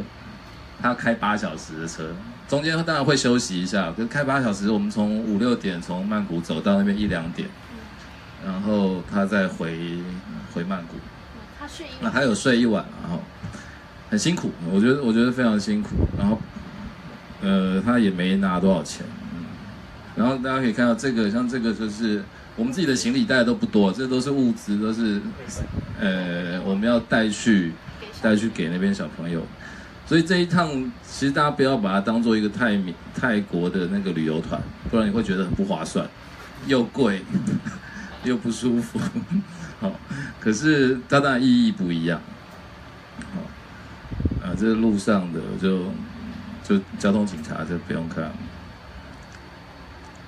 这个这个其实对我跟云章有趣了，因为我们到那边是凌晨，半夜大概一两点、两三点，我们又去便利商店买东西，然后路边看到他们正在送报，还没有送报，就是台湾也会有啦。台湾如果这边有夜猫子的话，你半夜大概两三点到管前路，或者有一些有一些集报纸的集散地，我们走过去看非常惊讶，然后放报纸，然后他们准备在分报要送要送出去，然后这边比较大家看得懂的就是那个。春回大地，每所镇上到处都是贴这些春联，呃，不过好像没有一没有碰到一个当地人看得懂的，这我们没碰到啊。那这家书店哦，这家是书店，然后这些卖报纸，他们也看不懂。这个会是大家一直看到的景象。每所虽然是镇，可是它里面那个非常多的稻田，田里面有很多人在工作，不像台湾的田好都没有人在工作。就自己长出来。美所那边看到的田里面有很多的农人在在弯腰在辛勤工作。那这一张的背影，这一张的背影是这一个女生。这个女生其实就像刚刚 Sam 应该有讲的，他们都是全很多是全家一起来，有些当然是个别个别跑来，有一些是全家一起来。那我是觉得这张还。其实我拍最多的是这个这个人啊，因为他那动作好利落，他一个人可以抵其他三个人。我们有看他的速度，他好像这个是在在育苗，对不对？他们在反正在拔拔拔的动作非常快，嗯。可是我就我就在想，这样子的家人在旁边看看他的家人在工作，那他他的任务可能是顾午餐吧，好，然后这个旁边也有那个太阳能板在充电，在充手机。好，啊，这这就是这这一位，这一位动作最快。这张照片不会登到那个天下，因为那个画面太不好看了。可是这张本来要选的是这两位，就是一直带着我们跑的皮瓦蒂和鹏，啊，他们是当地的工作人员，是 Sam 他们的伙伴。这个是林良树的女儿，叫浓眉。哎，那这个是大家认得出来吗？认不出来哦，就是她。背影认不出来。这个女生才才十三岁，十三岁，非常的这个灵活。哎，在边境讨生活，他们才也没有多熟，然后就突然就很熟这样子。哎，就然后就拍照拍，他就闪。哎。我不过我自己因为本来就不是很喜欢小孩，所以算。然后我非常的灵活，这样我们像我们这种各位在座就是那个，像我们都比较淳朴，对不对？我们生活在一个安全无虞的环境。可是，在边境，我觉得的确你得要有求生的 能力，然后看一直看不同的人的脸色啊，谁会有资源，谁不喜欢你，等等等等。这是那个美索边境那边。啊，这个我一直要问了，你们有没有谁是这样背伞？有吗？缅甸有这种，你爸也是这样背吗？哎，所以真的是真的是缅缅甸那边的习惯哈。因为我后来看到他之后，我就没有看过别人这样背了。我想是缅甸人这样背，还是这个人自己发明的？所以你爸也这样背？哦，真的。万丽的爸爸。万万丽是我们好朋友，他住在华新街，他爸爸是云南那边过来的。云南到缅甸，再从缅甸来台湾。对嗯，大家证明缅甸人是这样背的。哎，我们以后可以试着这样背背看，其实还蛮蛮帅的。他枪是都这样背啊，可是他本来不是在背在后面，他放在前面，是因为我们的团员小白要跟我们团员要跟他合照，他才把枪藏到后面。大家看到他们其实表情都不太好，但是我们的团员看到就蛮兴奋，就说可以合照吗？然后那个警察就就把枪，呃，军人就把枪放到后面去。对，其实就我开，我猜他们也见多了我们这种观光客，都是 Sam 带去。那边没有其他泰国还是克罗还是缅甸？泰国。这个是泰国军人，他们守在泰国的边界。然后就刚刚 Sam 有那个画面嘛，其实边界也很松啦，就是大家跑来跑去，好像也没有干嘛，所以他们说不定任务真的就是。招呼我们这些 需要拍照的观光客。没有 没有啊，他们真的有抓人。这个其实这个场景我觉得非常非常有趣啊，Sam 很得意的带我们，急着带我们去这个这个地方。这张照片拍的不够好，因为我也不太愿意正对他们拍。这边是刚才那个军军人走的河堤，这边是河滩地，然后再过去这边就是缅甸，就是河，然后就是缅甸。他就从河滩底，这样看不出它的高度，其实它蛮高，大概有至少一层楼的高度。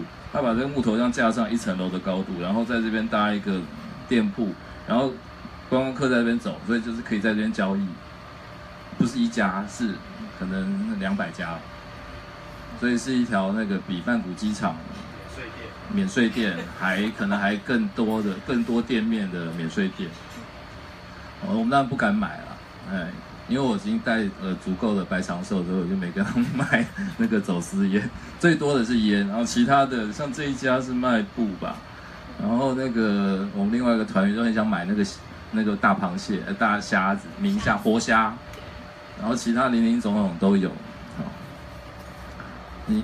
反正去的话，他一定会带你们去，因为他主要是要去那边买古董，啊，那边有很多从那个中国缅甸那边偷渡出来的那些怪里怪气的。七零年代还有那种军用的，对。对，然后现在就把我们丢在这边，他就去买古董。不是古董，是旧物。啊，旧物了，哎，旧物。他他有很多的嗜好，好，啊，这是这是边境市场，这是我们团员的背影，啊，哎。能认得出来吗？有人在现场。郭子颖的背影，对我的背影，在旁边吃的。好，谢谢。这个是另外一个边境的庙，一个园区了，那很多很多的庙，还有大佛。哦，那那卧那个叫什么卧佛？那这是一个有趣的庙，然后金金碧辉煌。那个南传佛教跟我觉得跟台湾的习惯的北传大大圣这边不太一样。那很很亮，那这这些是礼拜天出来放假的缅甸义工，啊，所以你可以看到他这个这个 longi，long longi 的，哎，他们都穿这个衣服，然后可以很多地方可以丢钱，啊，这是泰国的那个 理发店，因为云章他们去洗头，还不错，洗得很好嘛，对不对？洗得很好，但是是用冷水麦克风。这里入镜了啊！对，我也入镜了。哎，哥，不用，我们的主角是背影啊，主题是背影，大家不要看正面的。还有小白，你看他，哎，云章的头洗一次是一百泰铢，小白的头发比较长，是一百五。嗯，然后我不知道下次去也可能会住在这附近吧。然后他的，其实这个老板老板娘不会讲中文，但他儿子很会讲中文。会讲中文。哎，他儿子最后才出现，嗯，前面就是。那个比手画脚去讲，然后我头发也在那边，我在我头发在另外一家剪，在那个旅馆的对面，一个英文非常好的缅甸人帮我剪，好像也一百五吧，就很不会很贵了，啊，这是之后会去那边大家一定会去的曲木瓦，一个手手织品工作，呃，手作坊，啊，喜欢织布的可以去，不喜欢织布的，要闯，哎，对，就带一本书，像我在那边就，我实实在觉得，嗯。因为我很坦白讲，不喜欢织布的根本不要去这趟旅程了啊！可是可以去看看，因为曲莫瓦其实是一个很棒的地方，很厉害的地方。好，那我觉得光是到那边有点类似朝圣，我觉得都是值得的。林良树也是一个特别的人啊，说他不正常会生气，可是其实就不是很正常了哈，就是不是很正常，这也不是很正常，就不正常不是坏事嘛。看直播。杨树在看着边境，啊，怎么样？怎么样？啊，不正常是好事啊！我们那么正常干嘛？对不对？正常就不会开这种书店了。哎，怎么样？那个有没有人碗已经吃完了？还有还可以补货的。不是，需要新的碗。哦，需要新的。还没吃的。还有人没吃完的可以往后传。吃完的先吃咖啡来。那个也可以，这也可以做。这些几点？我想几点？讲出来差不多。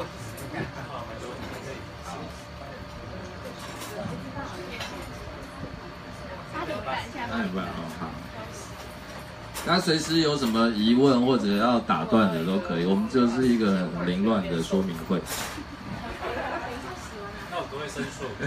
可以，女生拿麦克风申诉。我要申诉一个，就是那个边境的旧物店哦，很有趣哎，不懂那点。可是你知道怎样？我其实，在边境工作七年之久，从来都没有去那些店，就经过也看不上眼。所以我就到一个年纪之后，后来这几年回去，因为里面有什么东西？里面就有瑞典制、苏联制、印度制的油灯，还有那种气化炉，还有真空管收音机，有缅甸制、日本制、德国制，然后还有就是煤油灯啊，什么什么就。可是这些东西是哪边来的？缅甸来的。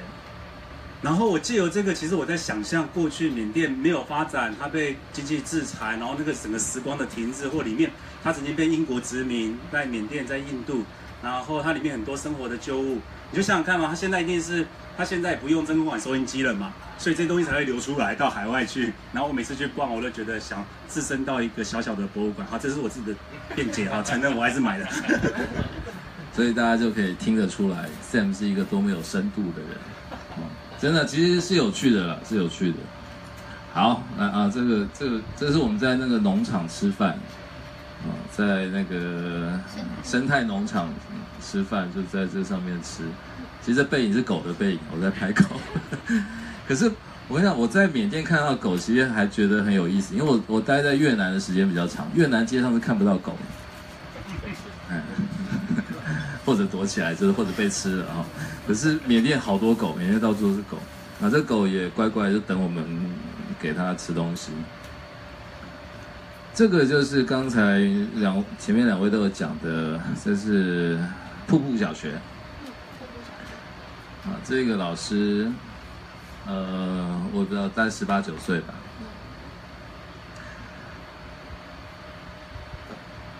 我觉得最讽刺的是，他身上穿的是洋基队的外套。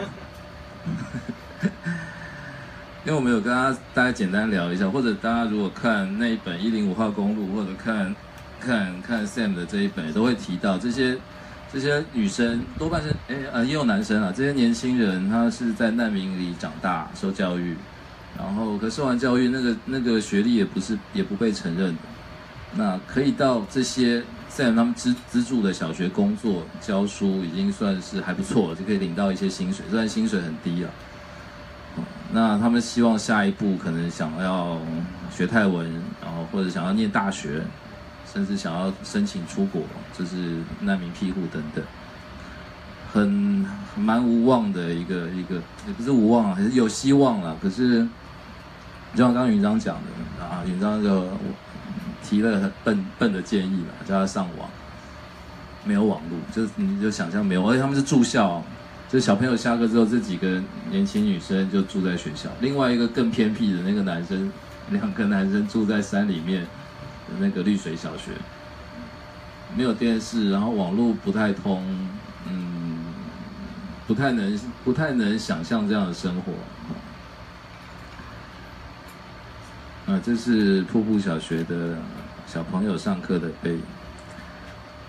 这个是绿水小学。啊，这一位就是，哎，他有如果愿意的话，可以跟他聊天。你打那个 Green Water 那个脸书粉丝，也就他在管的，因为那就那就两个老师。然后这一间更偏远，但是他有网络，但是他有网络，他会上去连，当然不会太快了。那这个有趣的倒是可以讲，就是你看 Sam 很凶在骂他嘛，对不对？其实没有啊，Sam 很温柔在问每一个小朋友的志志志呃志愿是什么。那你看他们小朋友会，我不知道万丽你们会不会这样？不会哈，所以这可能是缅甸的还是缅甸的习俗，就是双手抱胸，双手抱，是这样子，这样这样抱表示尊敬。要看到坏人的时候，看到长辈的时候就要这样。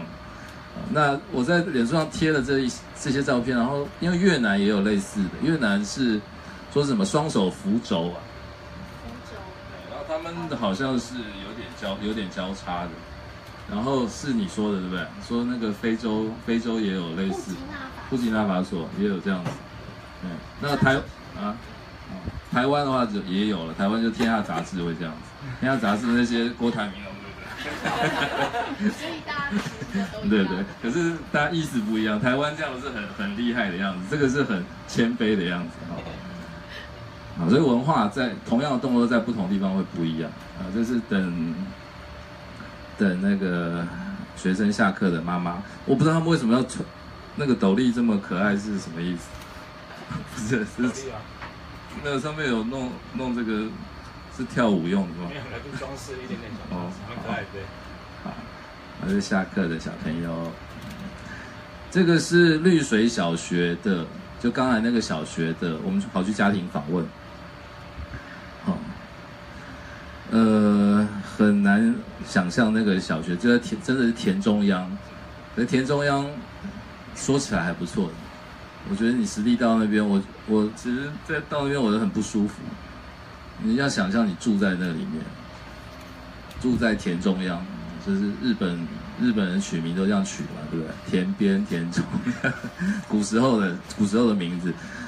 可是他们就真的是在那个田，就也不是什么很舒服的田，因为那些田都是经济作物，然后是种给想象之后卖给卖给别人的东西，然后他们可以得到的收入是非常少。然后我们到那边也语言不通，然后 Sam 就在讲故事，啊，Sam 就很会讲故事。这一堆都是我们的人。其实我要拍的后面可以放，没有我们的人，那灯看不太清楚。我其实要放这一个人的背影，这是这是主人的主人的背影。他其实非常的不知道该跟我们说什么话。哎，小杜啊，你帮我把那个灯往下拉。呃，这边的灯稍微暗一点，不是不是那个那个飞机仪仪表板的那个灯，下面那个，哎，你你会不会控制？稍微拉低一点。中间的这几颗，哎哎，有没有看到这个？嗯，女主人，女主人很，我试着要跟她讲话，但是我的缅甸文，也是讲缅甸文吧，就就就讲讲不太出来出来。这是他们在前面聊天的时候，我就跑到后面去。这这是一个这个女生十八岁，超害羞，就非常非常害羞。我觉得他们的确是不太，还是因为我们脸皮太厚，可能就非常害羞。然后你想象他们住在那个地方，很我觉得很辛苦啊，非常非常辛苦。讲其实我讲不太出来，嗯，大家有机会可以去看。这是另外一个背影，然后这个啊，我们本来说我们要分享那个怎么样在地这些地方跟小朋友互动的一个方法，这是另外一个办法。你直接拍他，你觉得不好意思，你让他自己拍自己，先把它改成自拍模式，然后他自己按，他自己拍的，他活该。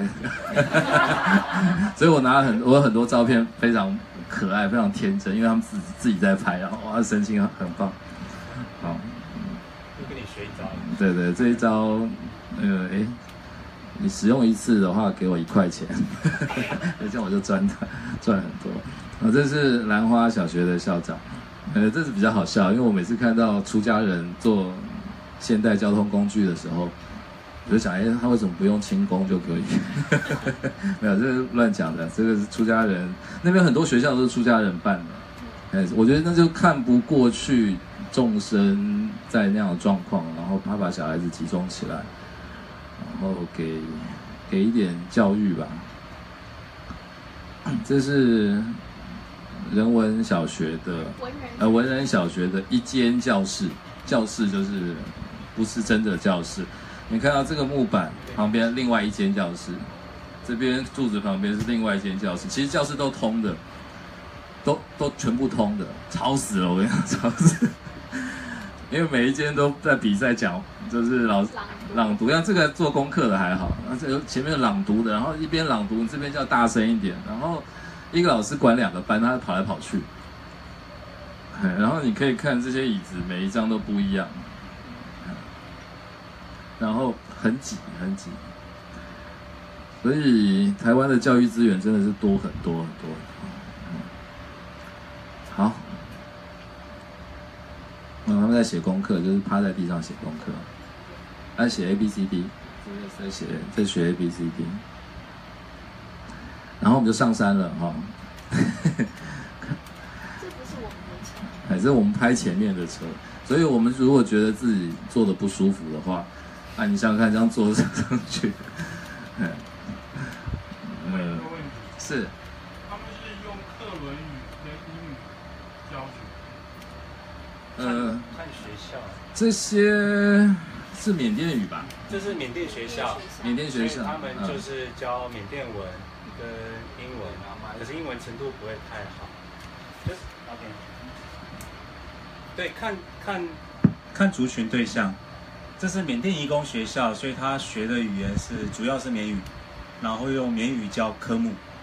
那如果是泰国克伦族的话，那他们是基本上科目是用泰语教，可是我们的老师可以用克伦族语加泰语教，就双语教。哦，克伦也有在缅甸。对，那我刚刚讲第三种，在难民营里面的克伦族学校的话，他们是用克伦族语教所有科目，然后学英文。好，所以有一些。从难民营出来的青年，他们的英文非常好，是因为营里面其实还是比较有国际援助的的这个资源，还有他们比较高度发展，因为他们是流亡政府，比较比较有完整的教育系统。OK，比较复杂的，一般大家也比较不容易理清。谢谢。对，就很难懂。不过反正没差，因为我们也不会克伦语，也不会泰语，也不会缅甸语。好，这边是缅甸，就是就是我不知道多。详细数字是多少？就是可能上百万从缅甸到泰国境内的那些农民工的小孩。好，那我们接下来要去的就是泰国境内的克伦族区域。那缅甸境内有很多，缅甸境内有更多的克伦族。那那是跟缅缅甸军政府不太开心的，就打来打去的。在泰国境内的克伦族相对，呃，因为有国界的保护，哎，国界这时候就有好处了。国界的保护，所以缅甸军政府不会过来。这一段路是很好的路，不好的路啊，这是路上我们会经过一个很漂亮的瀑布，然后这条这个瀑布会唱歌。嗯，谁说的？他说的。这是刚才大爱的王姐，王姐，王姐跑走。那瀑布很舒服，所以我们会在那边暂停一下。然后，如果你也对那个大自然比较有感应能力的，你就可以感应一下。哎，王姐自己不在。哎，王姐来就是，也就是她，她对那些那是万物有灵论的哦。这是我们住的女主人的家，村长的太太啊。因为我看我看以放的书，就那本书写说克伦族是母系社会，可是其实我不太能确定，因为都是他在做事，那个村长都在跟我们哈拉。没有吗？第一个晚上其实是村长煮的，结果都有没有？我拍到比较多他煮的啊，有了，嗯，你看看，是他在煮的啊。然后，然后这些那个无赖的观光客就躺在这边，然后他在很辛苦的。拍脚是 Sam 的脚，最后面那一个躺的这一个哈，你看躺着，我再回到自己家里。这是打闪光灯，因为拍不出来，黑全全黑的，然后嗯，瞳孔还来不及放大。啊，都是他在煮，这个是另外一个。就出外打拼的儿子回来了，难得回家一趟啊，所以妈妈们当然是煮好料。你什么出外打拼？好了好了，随便你讲，你看他就是不要被他骗啊，他是很会乱讲话啊。那对，因为我就我我就觉得他很辛苦，然后隔天他我不知道他坐在那边坐多久，哎，就是看着外面。后来我知道他坐在那边干嘛。他想怎么卖我衣服，后来卖我也买了一件那个，哎，他语言不通没关系，他就给你，嗯，你就知道他要卖你，嗯，而且他本来卖五五百块，后来 Sam 来就变四百，我想我靠，幸好我前面没有被骗。那个是他们自己织的衣服，他们自己哦，对对，哎，我好像有放他啊织布的样子，对对对，你看这张还有发光，嗯，因为光线从那边过来。哎，这是我们的公益团在做事。哎，有来吗？啊，子轩有来啊！哎，你看，就是镭射光闪到的那一位，他很痛苦。他这一团跟一堆老人家一起出去，然后老人家一直逼他自我介绍，他一直不肯，就是都不太讲。不过他是有做事的。所以我们是在做那个身高量身高的表，呃，量身高的那个尺度，然后那个子轩就帮我们标标下那个尺度，让带让后来小朋友在那边量身高。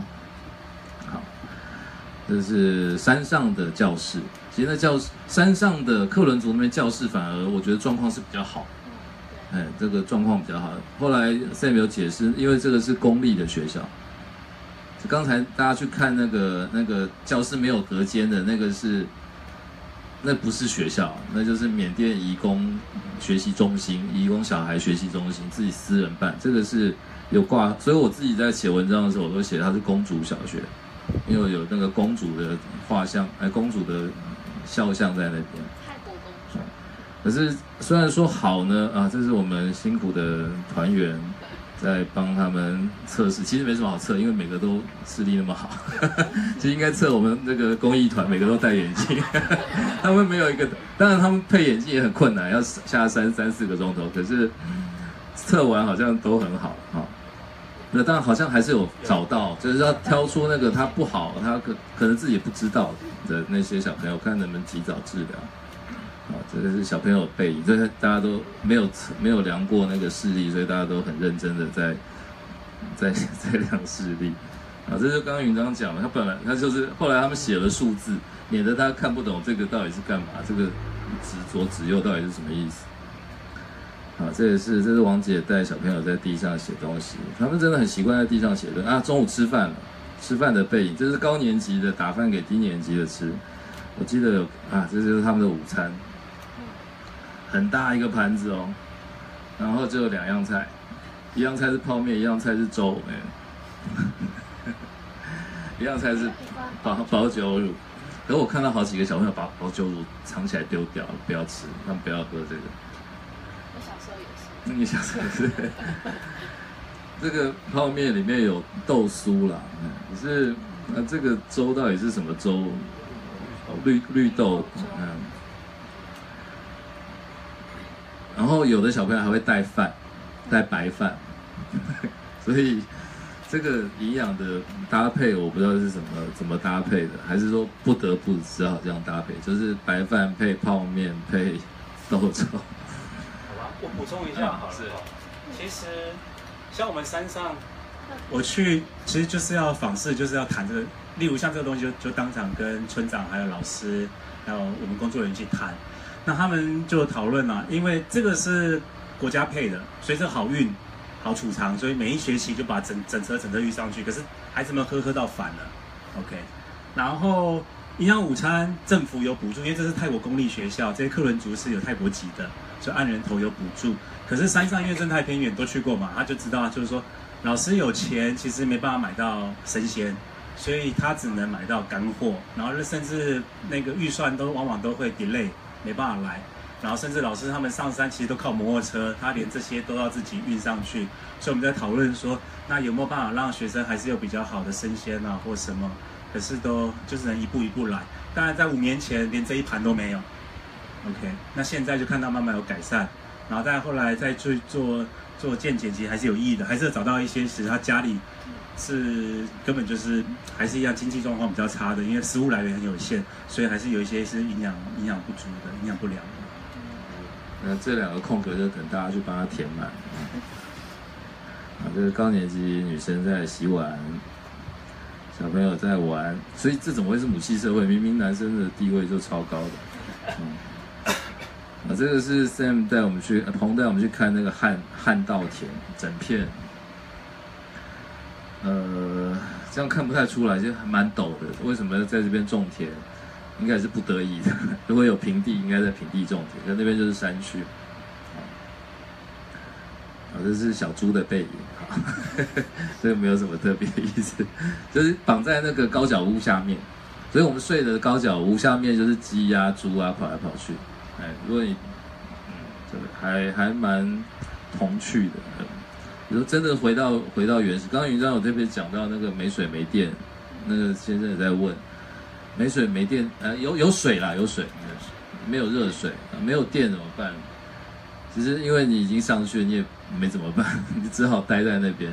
那的确就是你就就只好想办法过那个时间。然后哎我已经讲讲完山上了。我刚本来特别想讲，云章很厉害，他本来跟我抱怨一堆，刚刚讲都没听到。有抱怨吗？没有。因为我们都是豌豆公主一族的，所以 所以那个木板很痛苦，那躺着睡屁股痛，侧着睡两边都，隔天起来两边都痛这样。然后第二天糟糕又要睡一次，所以另外一个就是，如果你像我们是睡弹簧床睡习惯的，你如果要上山，你要心理准备，要不然你就是要准备比较多呃软一点的啊，你说你就就就要铺软一点，哦，那舒服归是很舒服，我我我是没有被蚊子咬的，我们那也是透就是透的啊，可能蚊子都去咬女生那边。我们那边有中药包 哎，对，所以其实没有，那空气非常非常新鲜，哦，然后就是森林里面，是我觉得值得尝试一下，哦，最多也就两天嘛，哦，然后白天还是可以洗澡的，你如果洗冷水就很舒服，我去我有去洗啊，因为时间很多没事干，我就去洗澡。其实是可以补充，其实可以，其实呃那时候 Sam 是有说，如果真的有需要，他们是可以烧水给我们洗澡。就是其实因为山泉水，然后有也有柴火是可以烧水，只是但是你千万不要不能那么不要脸。就是，可是我们就会觉得在山上，比如说捡柴这件事情，就柴火就是两就是燃料嘛，那水其实通常烧开都是拿来喝的，所以你拿这个东西来洗澡，就有点像拿矿泉水来洗澡，就是有点。太就是我们自己会觉得，在当地人面前我们会不好意思，那个人昨天用热水洗澡，就会觉得嗯，那还是 给我台湾人，你刚才说我你是韩国人这样。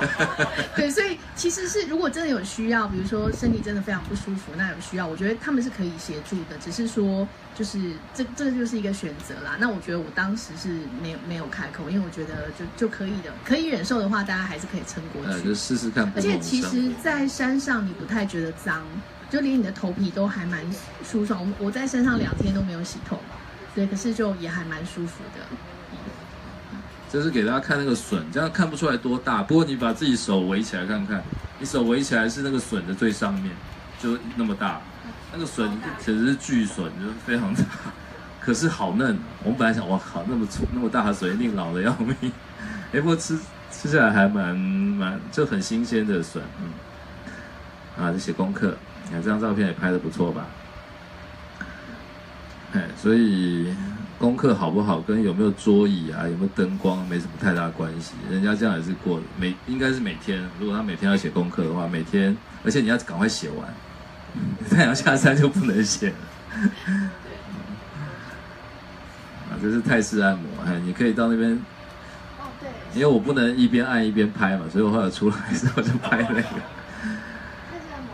倒是蛮有，我觉得这个这个我也还没有解，就是其他在美索镇上很多工作都被缅甸人取代了，唯一泰式按摩还是真的是泰国人。可是你看台湾的泰式按摩已经没有泰国人了，都是印尼、越南或者大陆的泰式按摩。那边有真正的泰式按摩，然后他会一直，然后很巨，很粗壮，力气很大。啊，这是手下节吧？哦，背影。这是买彩券的背影。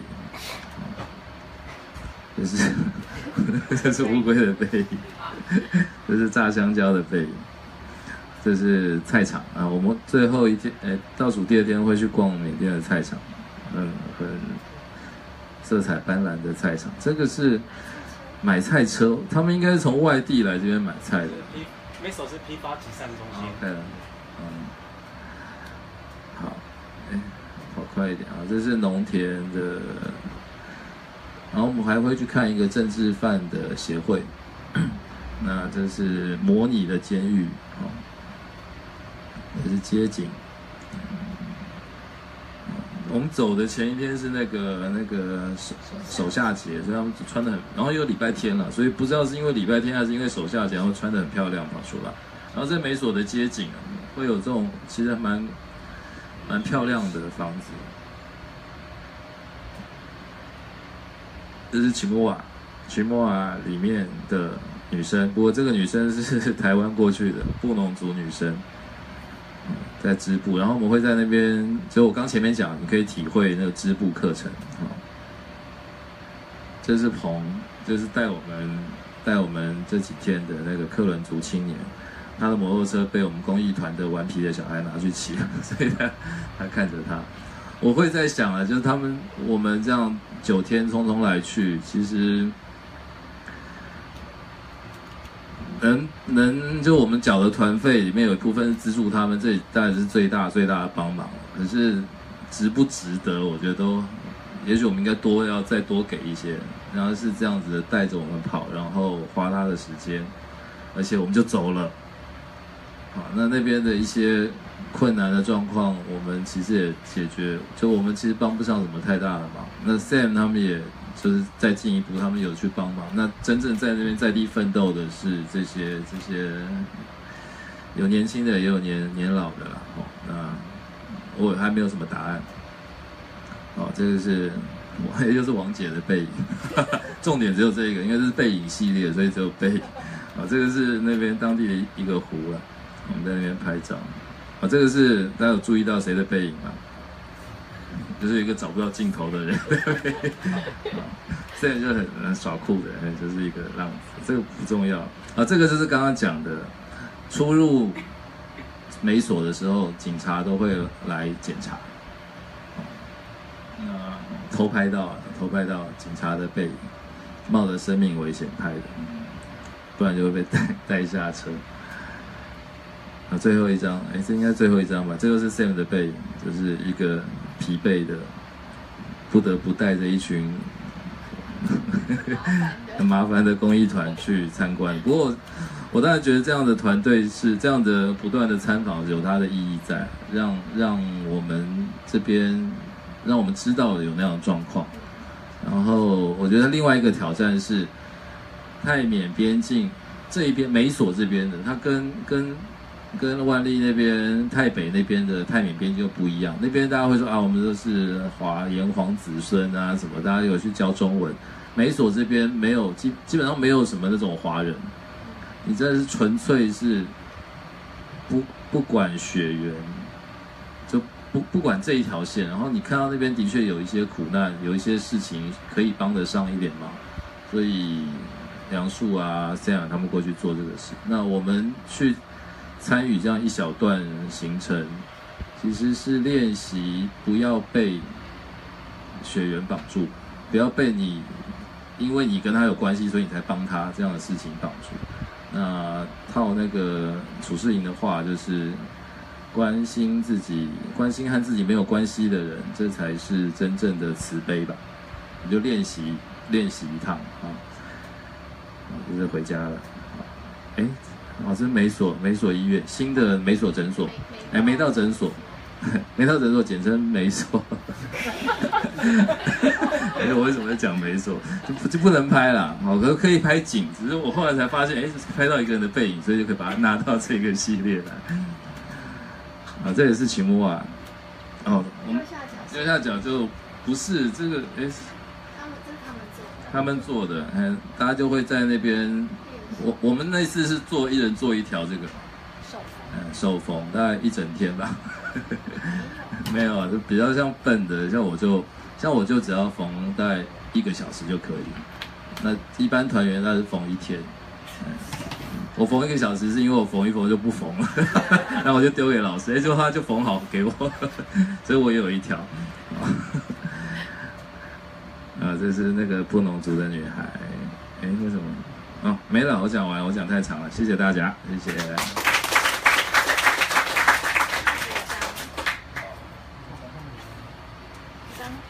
大家有没有什么什么问题？还是有没有？嗯，有谁已经是报名参加八月团的？然后就决定要退出的。其实你们会觉得很奇怪，就是你当然很少参加一个旅行团，参加完了之后，还有这么多团员会自己又跑回来，然后就聚在这边开始推销下一个团。对我觉得他是就这个参访团一个很神奇的魅力所在。然后如果没有问题，我们就让我们的我们点名，我们今天来好多同团的那个医生博章。对。伯章他简单先说一下，嗯，伯章他过去其实子轩、子轩在后面啊，王杰，对，还有在楼下帮我们准备食物。哎，那郭子嘞？哎，郭子，郭子就是子轩的妈妈，哎，就郭子。那个碗筷都交给我。然后这边还有一些也去过泰缅的嘛，思杰，哎，这位你也去？朋友。啊，还有师姐一张，还有一张，好几位都是公益团伙伴，可是我都说，虽然对外都讲公益团伙伴了，可是我从一开始我就觉得我是邀请朋友，这趟旅程让我们人跟人。认识了，相遇了，然后一趟共同的旅程，然后成为朋友这样子，好吧？嗯，国章要不要简单说一下？那其实还是很轻松的场子，然后大家如果待会想提问的或想分享都可以。大家好，就是嗯，我会认识 Sam 他们是因为在呃大概两年前吧。那我是。那我先介绍一下，就是我是医学系毕业这样子。那我那时候就是，诶，因为在边境的时候，刚刚有一张照片是那个美道诊所嘛。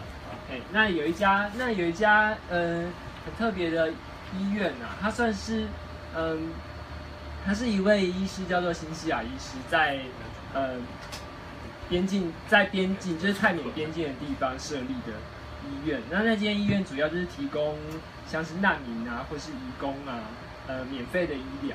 那我就是那时候就申请到那边去，算是见习，就是一个医学生的身份在那边了解说，呃，他们呃他们会遇到的一些医疗的状况是怎样。然后我就遇到 Sam 这样，然后这次这次就是我也跟他们一起去，然后去了呃那边的一些义工小学，然后再去看他们的呃医疗的一些状况。那呃。主要就是，呃，我我稍微讲一下这这个医院好。那为什么为什么这间医院在那边会这么的重要？主要就是因为说，像是难民啊，或者是说有很多的缅甸的人，他们会想办法到泰国去呃工作，但是他们他们有很多就是不是一个呃非常正式的呃有正式的证件啊这样的身份在泰国，所以他们其实就是没有办法接触到。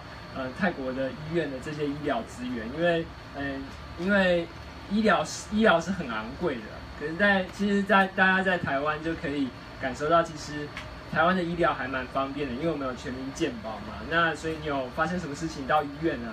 就，诶，就算是有一些很重大的手术，那其实大部分的这些费用都是大家可以负担得起的，甚至可以说，其实基本上是非常的，呃。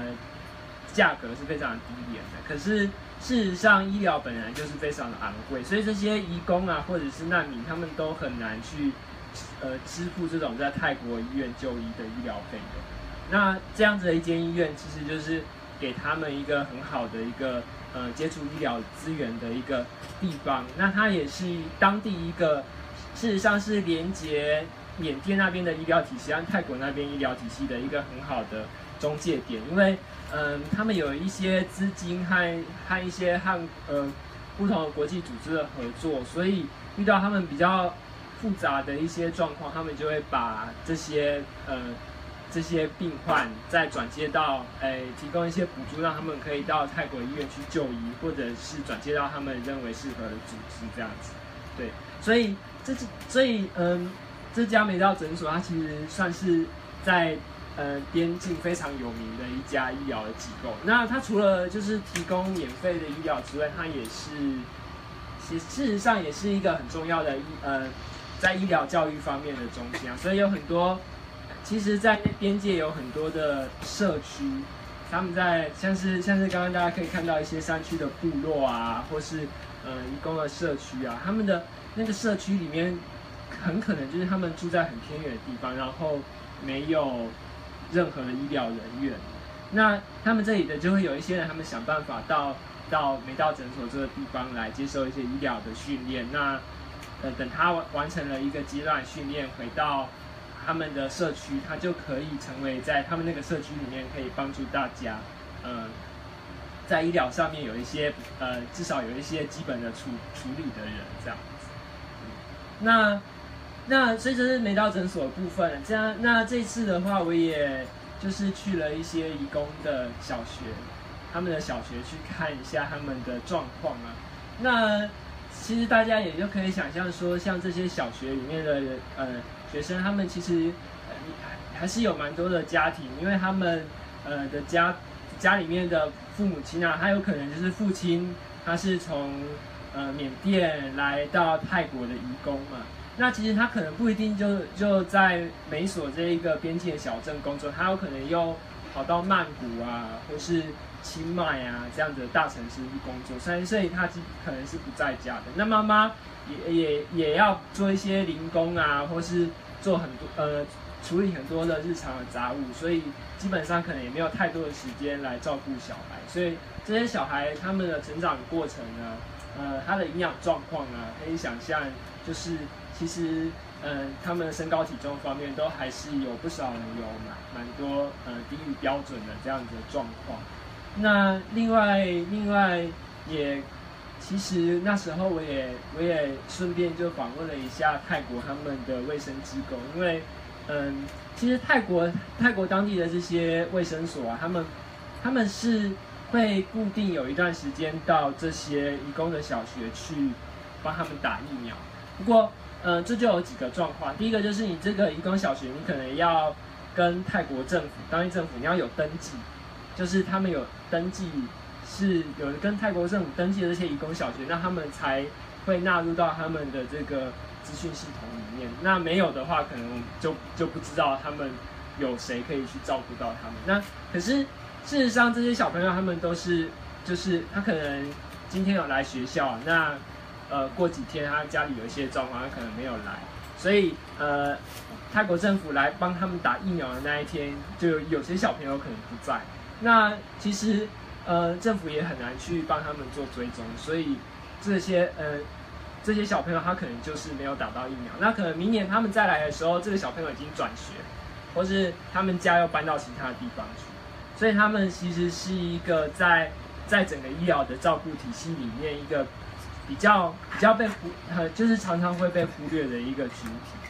那这些小学其实除了泰国政府他们有去打疫苗之外，嗯，就是没到诊所，他们会去固定去附近的一些义工的学校来帮他们做一些基本的检查，但是可能就不包括疫苗部分，因为这部分的经费对他们来说可能已经是相当有限了。但是没到诊所，最近他们其实也遇到很大的困境，就是大家大概也可以知道说，呃，缅甸因为红山书记他的这个。呃，政党他们的政党就是获得了国会大选的胜利嘛。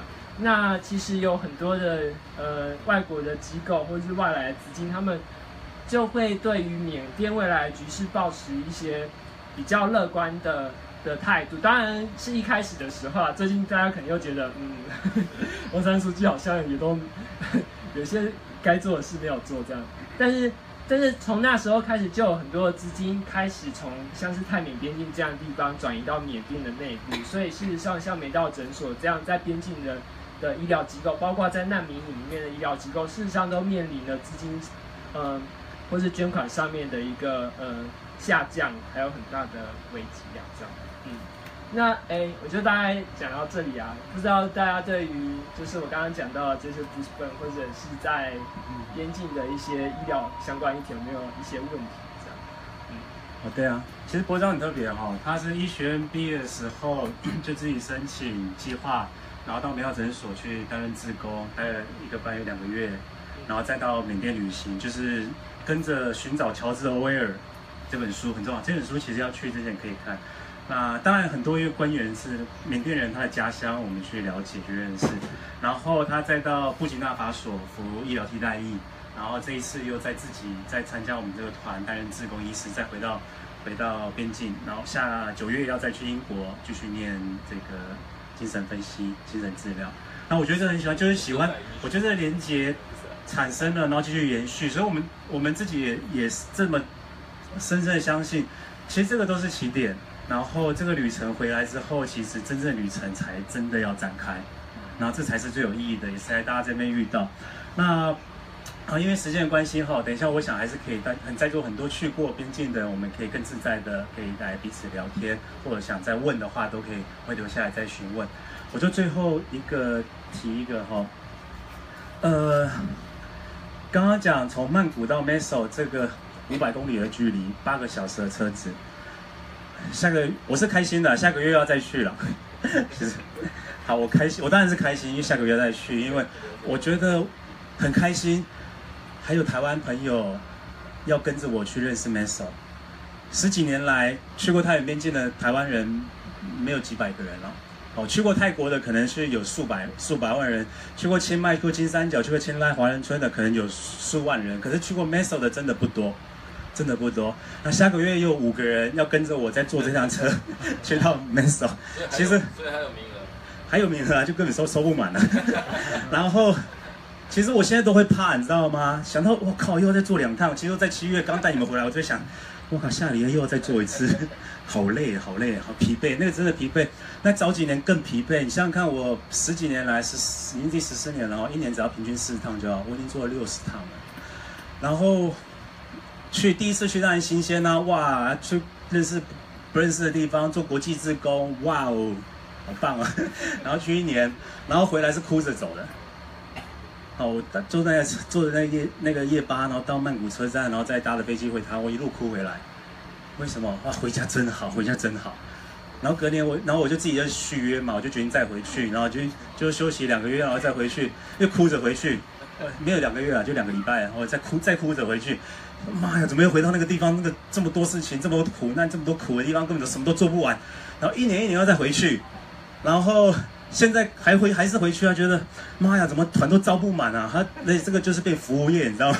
以前一个人背着还轻轻松松就去了这样，然后现在还要还要哎苦口婆心邀请大家去那边走一走看一看。可是我觉得我是幸运的，我是幸福的，因为我可以成为泰缅边境跟台湾这两个家乡之间的桥梁中介。然后每一趟旅程，你说六十趟也没什么。我觉得你们大家可能第一次去认不出来，其实坐那个巴士哦，或检查哨。缅甸移工就是下车哎，缅甸移工就是下车哎。从我那看检查的时候，然后旁边我很清楚啊，就是或在休息站，整票都是缅甸移工。然后他们的离乡，他们可能只坐一两趟了吧？可这一两趟是是多难多难的事情，是多么人生多大的决定，多大的多大的，对他人生是很大的意义哈。然后因为那个风景就是当然我因为太多了哈，可是他每一天周周遭的身影，所以张震拍那个开。开小巴士的司机，我每次去，大家都是睡，可是因为我要压队，我当然是要陪他聊天。可是我都，我每一次都觉得好亏欠那个司机，因为他开八个小时去，可能休息三三四个小时，甚至有的没休息就再开回来。我都知道，其实因为太语人通，我都懂。那你说真的是我们比较幸运吗？真的是命不同就可以解释了一切吗？我当然，我觉得我当然是寄生，我是自身太太里面摄入太深哈。好，那我想说六十趟其实也没什么，梁树。在那二十多年，所以我在面前我都不敢抱怨，也不敢讲话。他在那边二十多年，到现在他都还这样来去，而且更不要讲他坐车，他甚至去清迈。我们讲清迈，隔天走，他都开车去清迈，开车去北边六个小时自己开，来回开。他五十多岁、六十岁，他腰早就不行了。他在柬埔寨待过很多年，在非洲，在我都知道，因为很清楚，就是可是没人帮他开，有没人帮他开啊？就继续开嘛。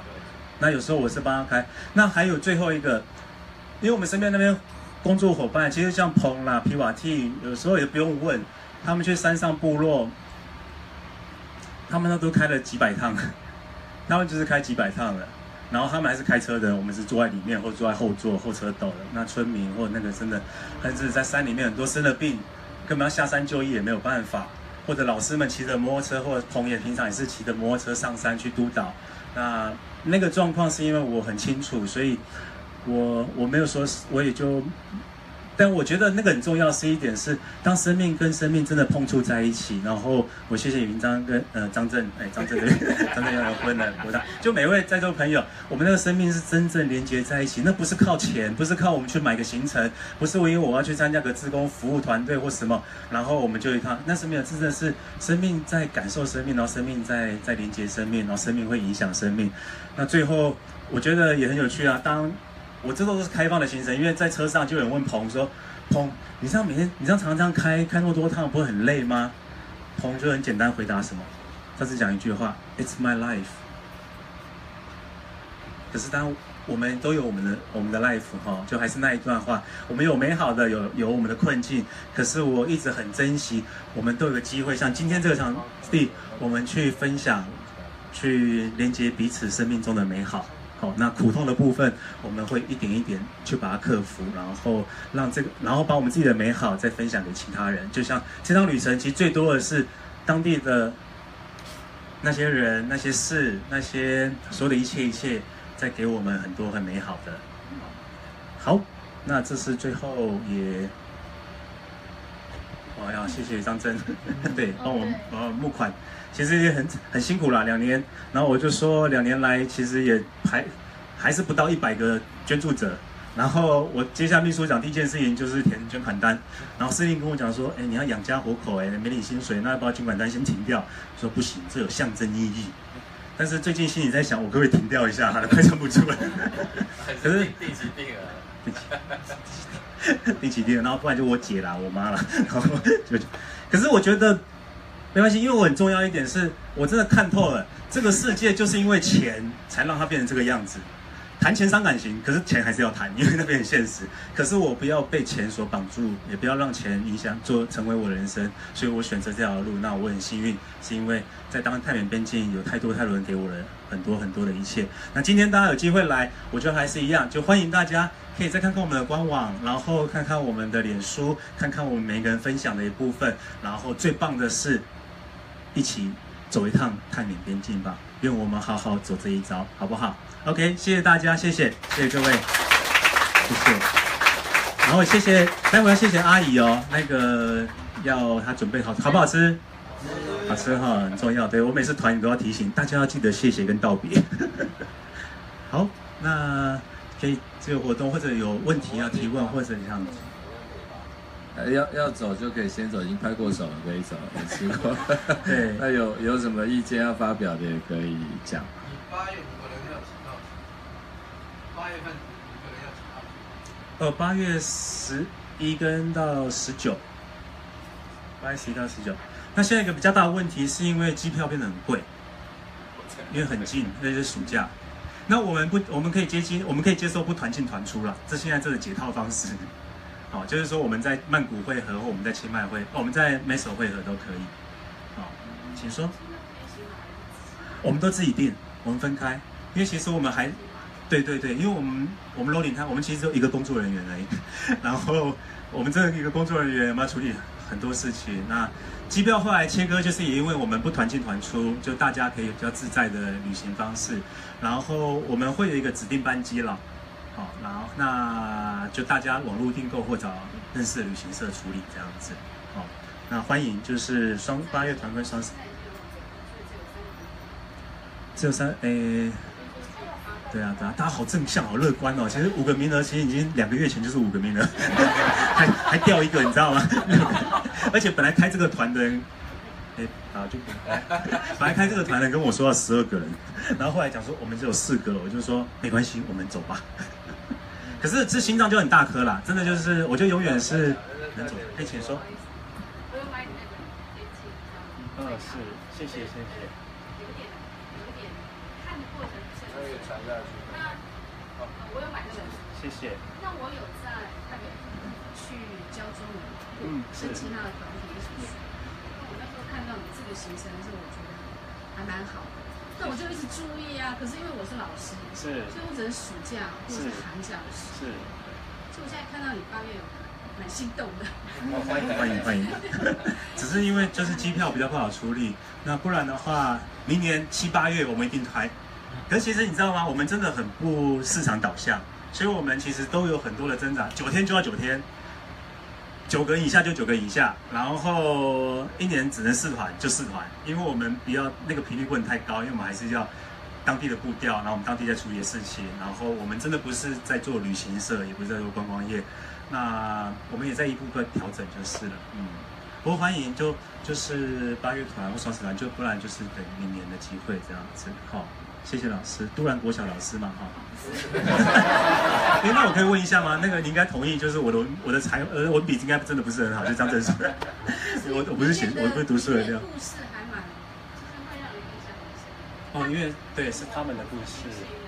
哦，是。跟你父亲一样。然后也是，对啊，就是那个。老师，你用麦克风讲。开始，开着。那我第一次去台北的时候，其实类似寻根啊，就是我要去看看以前我父亲他们征战过的场地，所以一些紫金三角那些去过。那您现在讲这个，就是那个边境我也去过啊，对，就所以你今天讲的是另外一边的生活，我真的是蛮有兴趣的。谢谢。对啊，对啊，谢谢。对，其实我每一团大概都会有老师出现，有公民老师或高中国高中老师，然后另外的话妈妈。就是孩儿女是就是空巢期的妈妈，我觉得好棒哦，就是妈妈这最坚强的，然后再就是老师，然后再就是莫名其妙的大学生。可是大学很棒哦，大学生就是说我不要参加外面那种热血沸腾的自工团，我希望从这学习开始。我们带都会捡到一两个，然后最棒的是捡到高中生啊，然后也带过。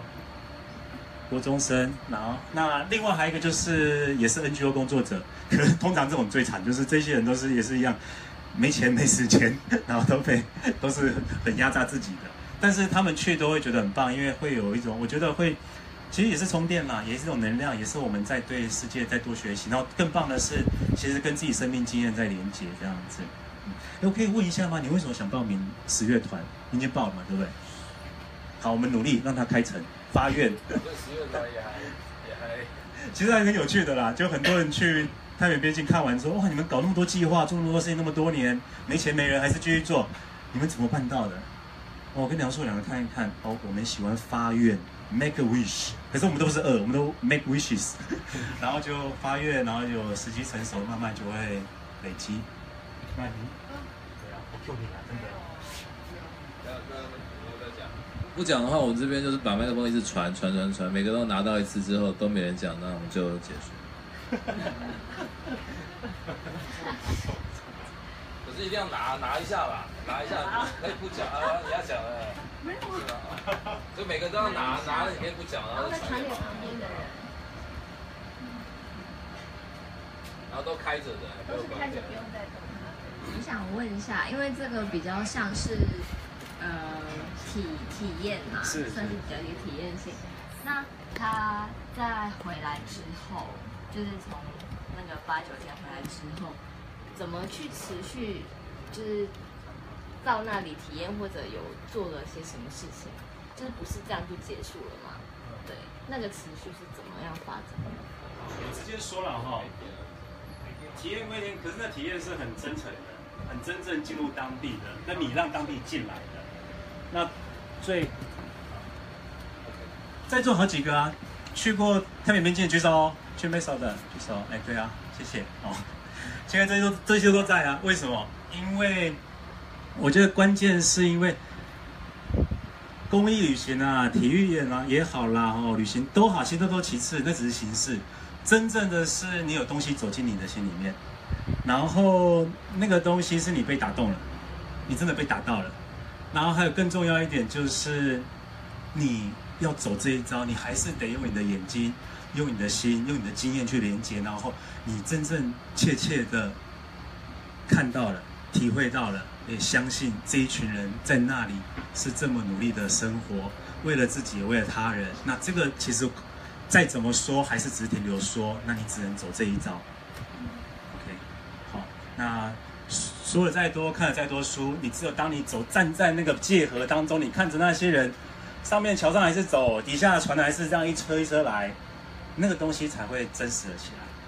所有的一切就是为了让真实起来。OK，好，那谢谢你提问。所以哪时候要参加呢？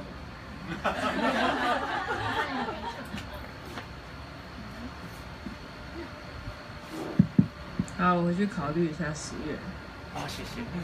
我还让伙伴在旁边，我们用泰语打招呼一下。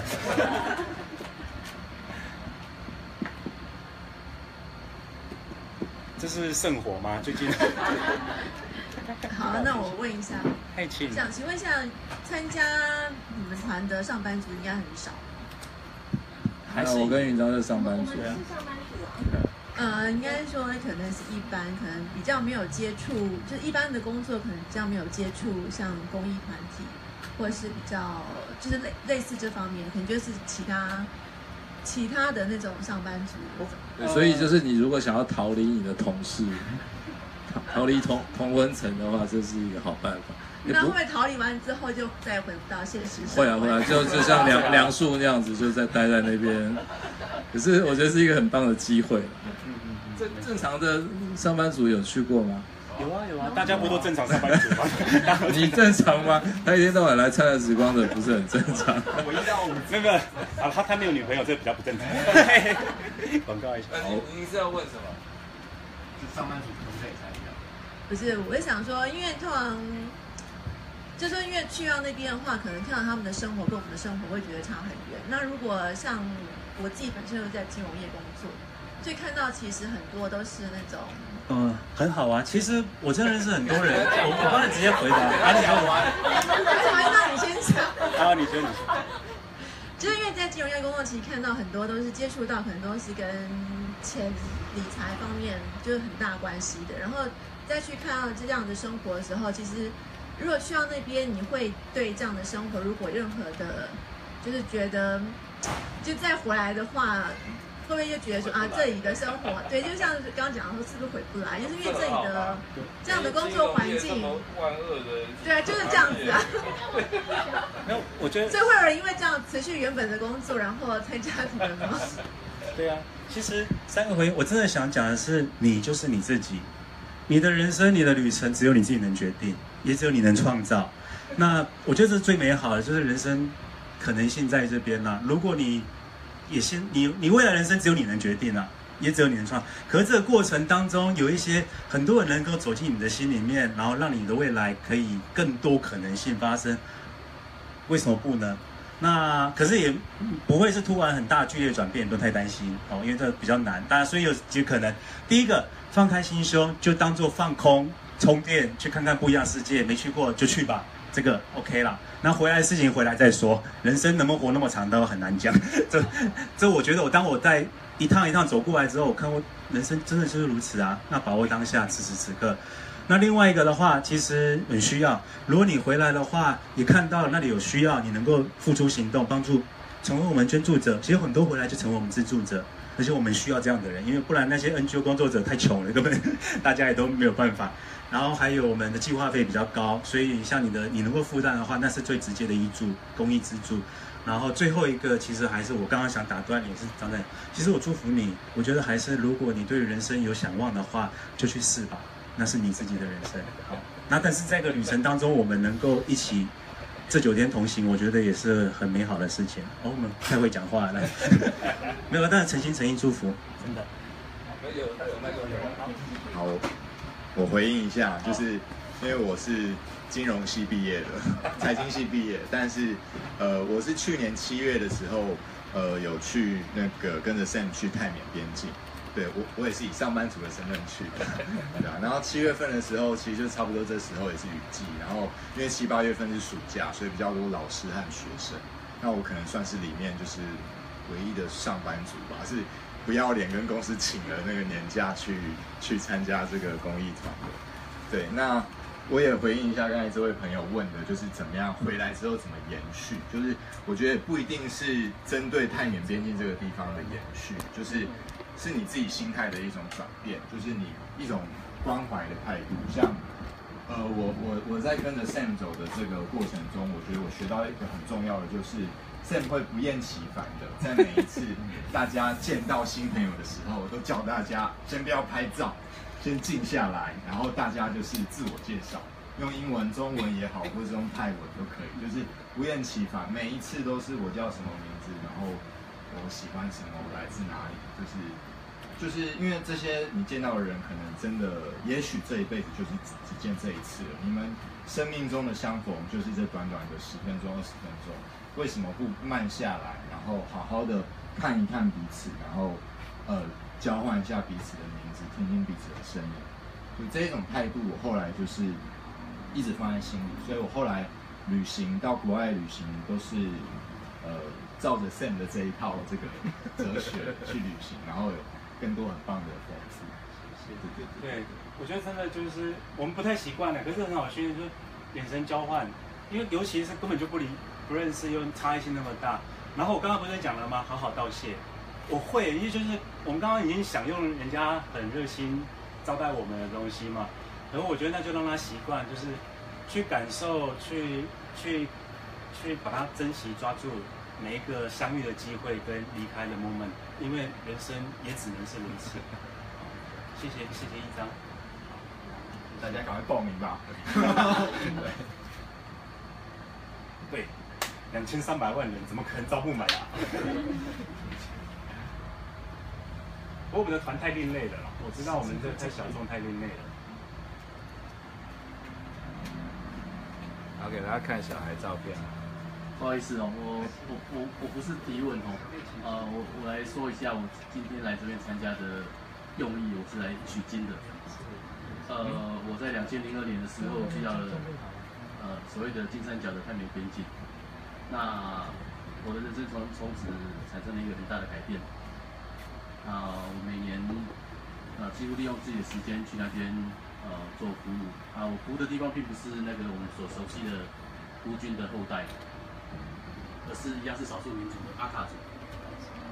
我跟那个这个应该有听过。呃，他们一样是山上的一个少数民族。那嗯，没有没有身份证，他们居住的地方在最高的山巅，没水没电，啊，没有医疗，啊，我很感谢我我我我我所本身有的能力，我是我是做推拿师，我是在做接骨啊的工作，那我也很很有很偶然的机会去到那个地方，那我发现我的工作，呃，不是只只能让我自己糊口养家活口而已。居然可以在那边做出我我一直很希望能够做的事情，我会在那边服务他他们。那从此我觉得生命就获这就获得改变了。那所以我一直在那个地方，每年都过去将近现在到现在已经有十五年了。好，呃，最近因为最近那边我们那边也有一个团体，那现在也是面临没人没钱的窘境，所以我是我说过了，我是来取经的。呃，我我倒希望说能够学习一些方式，能够为我所能够为他们服务的这这群呃少数民族能够来呃做一些努力跟改变这样子啊，所以我相信这样子的过程都是这个餐馆之旅是一个很好很好的呃的一个活动，因为你当你的心灵跟一个完全呃语言还有生活习惯不都不同的人。去接触到的时候，你你一定会在在你的心里的话呢，变成一个不一样的改变。好，那我一直觉得有一句话很很很重要，就是说，让你的人生成为一个值得一说的故事。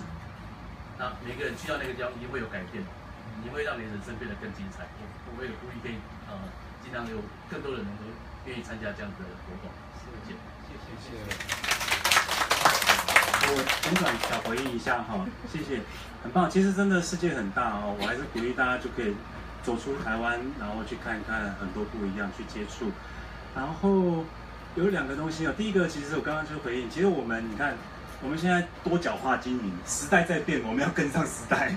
现在 NGO 是传夕阳产业，传统产业没落。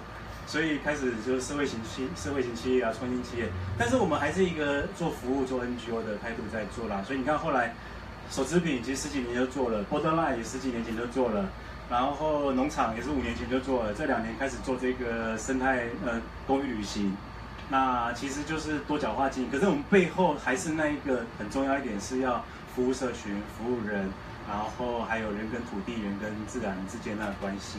那另外还有一个很重要一点是，其实我们的主导主体性还是当地，所以我们一直我们在当地其实很早就有一个呃扶植成立一个 TB Cap，就是他们当地的立案 NGO 草根团体。那这个活动完全跟他们活配合，其实就是让他们赚钱，然后赚他们的薪水，然后他们用这个有这个薪水之后，他们就可以再去做他们计划，做他们想做的事情。然后还有这个东西全部让他们主导，其实他们就是。当有一天他们不想做的时候，或他们有其他想法的时候，我一定跟着他们。OK，那这个是很重要，就还是由当地他们有自己的主导现在。谢谢。我姐，我，我说可能有些人有捐捐钱给那个世界展望会，所以我觉得如果你有捐献给世界展望会的话，那就在这里多付出一点，因为这里更需要世界展望会更需要大家的支持。就这样，谢谢。谢谢谢谢。你看我要单挑世界展望会，那你把你把瓷器放在哪里？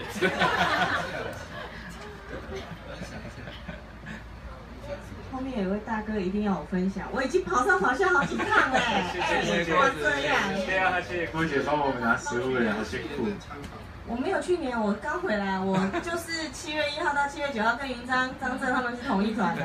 但是他们今天一直都在告诉你们这一团有多好，这一团有多好，一定要去。我告诉你们，那个心理不够坚强的千万不要去，因为我。上部落第一天晚上就在心里咒骂我自己，说没事干嘛来这种烂地方？明明就有澳洲那种文明的地方可以学，干嘛选这种不？那 没有热水啊，又没有电地方。哎，没有网络对我而言是没有什么大问题，可是没有热水、没有电、没有电有手电筒没有关系啊。可是没有热水，你不能洗澡，不能洗头。嗯，好啦，我我没有办法接受，所以我们那几天，我跟我女儿就启动不洗澡模式，就这样。然后我们有一个团员很聪明的，他就带了一大包的湿纸巾去，全部都用擦的。然后，可是这真的只有第一个晚上，我会觉得说，就在心里狠狠狠的骂我自己，没事干嘛来这种地方？但其实我觉得人的适应力是很强的，到第三天。哎，你就习惯了，然后你也觉得好像也没什么，然后不洗澡好像也还 OK。应该是说我们去的时候也没有很热啦，所以是凉爽的天气。那不洗澡不洗头好像也 OK，因为我这辈子也没有几没有没有这样没有太多这样的经验，所以诶其实也还好啦。然后 呃，没说这个镇这这个城镇真的是一个好地方。就是它的物价超便宜，然后你只要带个那个五千块泰币去啊，你去那边就可以任由你挥霍。然后我们从那在那时候待了呃七七天之后，回到曼谷机场啊，你就会发现，我靠，那时候都是十块、二十块、三十块，然后到机场都是两百、三百、四百，你就会觉得说，我的眼睛是不是有业障？它是不是多一个零？你就会知道那时候是一个多么好的地方。那里按摩一个小时才两百块哎。对，如果你们有去，千万一定要记得叫 Sam 带你们去按摩。我一天一次都没有按到，因为 太好玩了，那个夜生活太美丽了，所以按摩排不到。那个，嗯，对啊，你们真的要有坚强的心理准备上部落。但是梅索这个镇真的是很不错的一个地方。我我对于上部落是比较有障碍啊。那但是梅索这个城镇我很爱，真的。真情告白。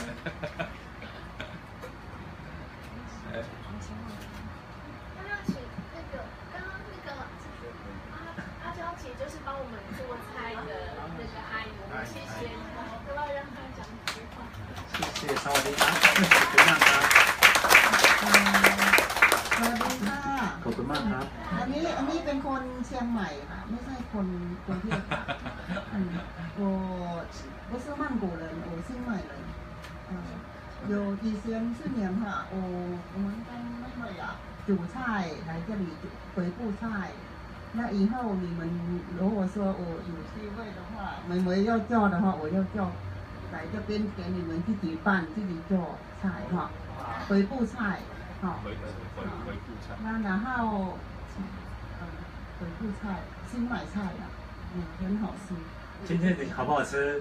今天好不好吃？好不好吃？好吃，对，太比较好。อร่อยมากอร่อยมากมากครับอร่อยมากมากขอบคุณมากค่ะขอบคุณมากครับสวัสดีค่ะขอบคุณนะคะ身体健康，上帝爱你们哈。哇，刚刚这堂课第一堂就失败了。我刚刚讲了很重要一件事情，当长辈跟我们讲萨瓦迪卡的时候，马上就是回应。萨瓦迪卡，萨瓦迪卡，好可骂卡。女生萨瓦迪卡，男生萨瓦迪卡。 对对对，那其实 OK 了，我觉得人生就不断的练习了，就一种新的学习、新的尝试，哈，很棒，谢谢。好，师姐要不要？师姐，师姐要不要说一下？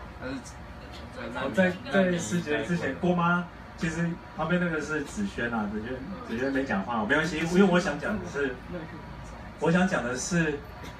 子萱是那个郭子的女儿，就是他们是母女，他们一起参加。那很棒的是，那个妈妈问女儿说：“澳洲跟泰缅边境给你选，你要去哪一个？”女儿说：“我要去泰缅边境。”想看这个女儿这么有现实，才高中毕业生，台湾怎么可能会没有未来呢？然后可是我觉得，可是其实我心里更佩服这个妈妈，我觉得妈妈有有 guts。女儿孩子决定了，她就。顺着孩子，然后随着孩子的脚步一起到泰缅边境。啊，我一直后来很珍惜，很珍惜，就因为离家久了，离家远了，其实更回头或者心里面无时不刻很清楚，那个家家人哦，所处在泰缅边境，然后或在台湾，或者现在自己，因为我现在有有有有小孩哦，小孩在一岁多，所以我现在出门也不太容易了。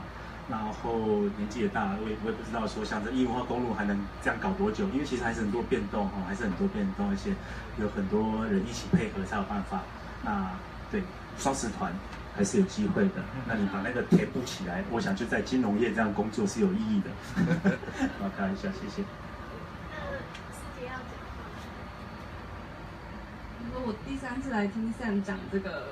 这个 PPT 就有很多新的图片，然后还有重生跟原章的分享，就是，嗯，但我还是很希望可以邀我妈妈去这个东西，因为，嗯，特别是刚刚跟这个这个波子啊，呃，姐姐那个 聊天的时候，很羡慕他们母女可以一起去，然后我自己是就是一直对太原边境有一个很深的情感，然后也很希望，呃，妈妈可以知道我一直。以来都对什么东西是感兴趣，然后热情在哪边，然后所以很推荐，如果对阿母女或是任何家人可以一起去的话，就会是一件很幸福的事情。培养出家人那种患难与有 有，谢谢。对啊，师姐其实有一直邀请妈妈嘛，那妈妈其实也同意了。就我觉得时机成熟，那个旅程就会发生。哦，有，怀抱梦想。啊，没有。讲一下，其实今天不是来听说明会的，是要来交护照的啊。可是没有工作人员在说。来要会钱还是刚好？没有，我已经 有报了十月团。哦，谢谢。所以，第一位报名，第二位报名都出现了。哎，但是以汇款为准啊，就是还还没有去转账，只是想说先来交护照的。OK OK，啊，现在交护照，交护照就完了，就每一团都要参加。交了护照，没有，双十团没那么早交护照，因为还因为还没有确定成团，还没有确定成团。好吧，那我们要还是要六个人才有办法成团。那暑暑假八月团是比较特别啦，所以我们现在就五个人。其实想想看哦，我们这种团，大家会觉得团费很高，三万多块。其实扣掉签证、那个保险就三万出，然后再扣掉。你对机票一个，你像八个人好了，这个东西扣我们其实就八就是两万多，啊八十六，我们大概就会二十八二十万出去，其实会出二十万没什么，可是我后来我就想懂了，为什么人家可以办到两万块团费？因为他一定要收到十五或二十人，那个才会多，不然我们其实成本很多。我们我们八个人还是租一台车，小车从台北曼谷来回，或当地在用车。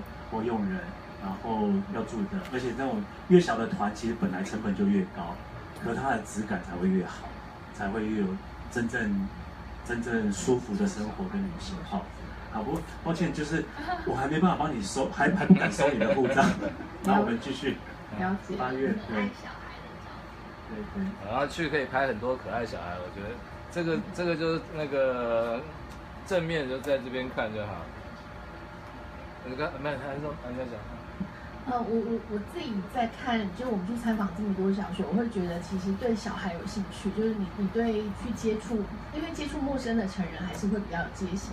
可是那边的小孩跟台湾的小孩比起来是非常没有戒心，然后他们其实也很乐意这样子的交流，所以所以我那时候会觉得教师团特别适合，就包括教师，我觉得呃，如果是有经验的教师，其实去到当地，你看到他们当地那样的条件，跟老师，也许可以跟他们有一些教学上面、专业上的交流，那个你会觉得自己的教学在那边会很有价值。另外是看到那些可爱的小朋友，我觉得是还蛮疗愈的，而且他们跟你的互动是很自在。那你想想看，如果他的生命中，其实他的生命中没有太多机会，他不可能出国去壮游嘛，他也不会出国去当志工。可是他如果可以透过这么多志工来接触他，其实他也就认识了全世界。所以我觉得这样子的接触是有意义的，虽然可能看起来是好像又很短暂，但是比如你赞美他，哇，你的字写的这么漂亮。像那时候我们就看到一个小女生在写英文，她的英文本子幼稚园写的超漂亮，我就说。哇，你学霸哎！其实他根本听不懂中文，可是他的表情就是一副很骄傲这样。然后我就说帮你拍照好吗？就是我完全用中文，然后他完全听得懂我在说什么。然后他就摆好姿势让我帮他拍照。这个小朋友，对，很可爱的学霸，幼稚园的。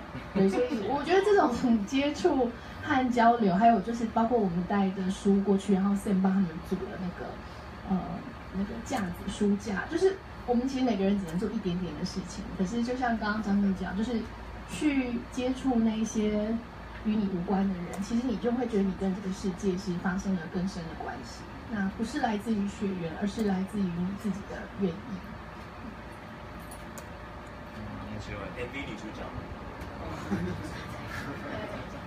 呃，很多很多故事哈，边境。好，那还有吗？麦克风。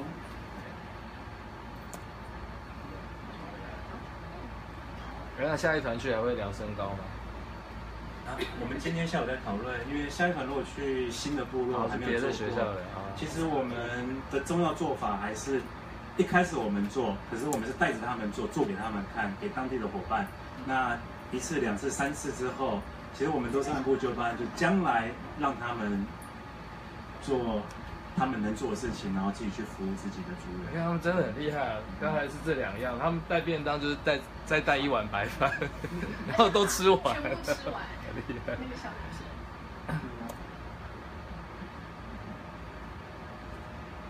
我想我我们今天就凑个十月团吧，好吧？大家，来线上报名，开放线上报名。我要哭哭了。因为其实我真的投入好多成本，不过，同事都快给我，同事快给我翻脸，你知道吗？我在看机票啊，可是问题是怎么看，就是啊，就还没有成团呢，没不知道会不会成团，然后机票价格在动，然后他他大概三天两头就给我回报一下，八月团五人，双十团两人，然后那个个礼拜，八月团五人，双十团两人。然后其实谁会最在意？我是最在意那个人，可是我都要把他处之泰然，因为我觉得人生，人生就是永远怀抱最美好的梦想，可是做好最坏的准备。那真的很抱歉，如果开不了团的话，我觉得就是欢迎，就还有下次机会。但是我们现在会努力发愿让他开成团，所以才这个活动办了哦。然后也大家就今天各位如果。还呃自己时间还没有办办法配合的话，那觉得这个活动还不错，那也欢迎你可以推荐分享给你觉得适合的朋友，然后帮我们美言几句，哦，就说张震跟尹章觉得去了虽然痛苦，但是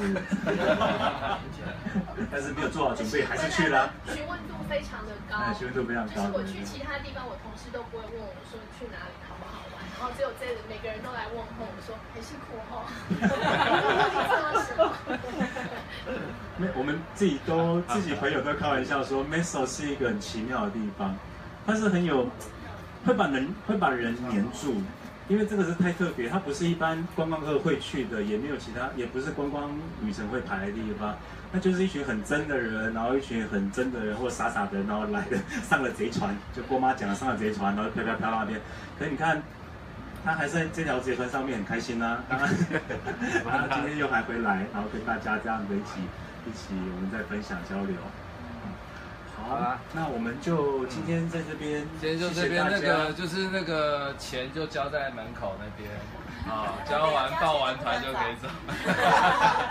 好了，那个他还没讲完他的真心话，真心话的话到美所去挖他，他会讲很多那个八卦啊什么。好了，谢谢大家，谢谢。谢谢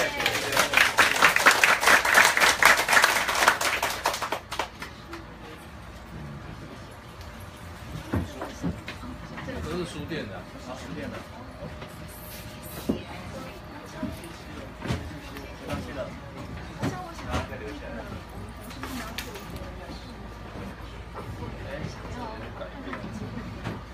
你刚有有动它吗？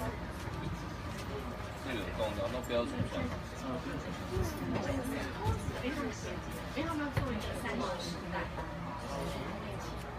所以你还没三十，你要三十。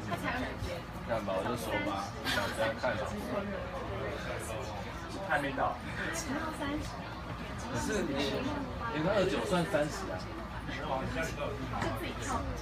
这样就说你觉得你？哎有，有他的妹妹。哎，有。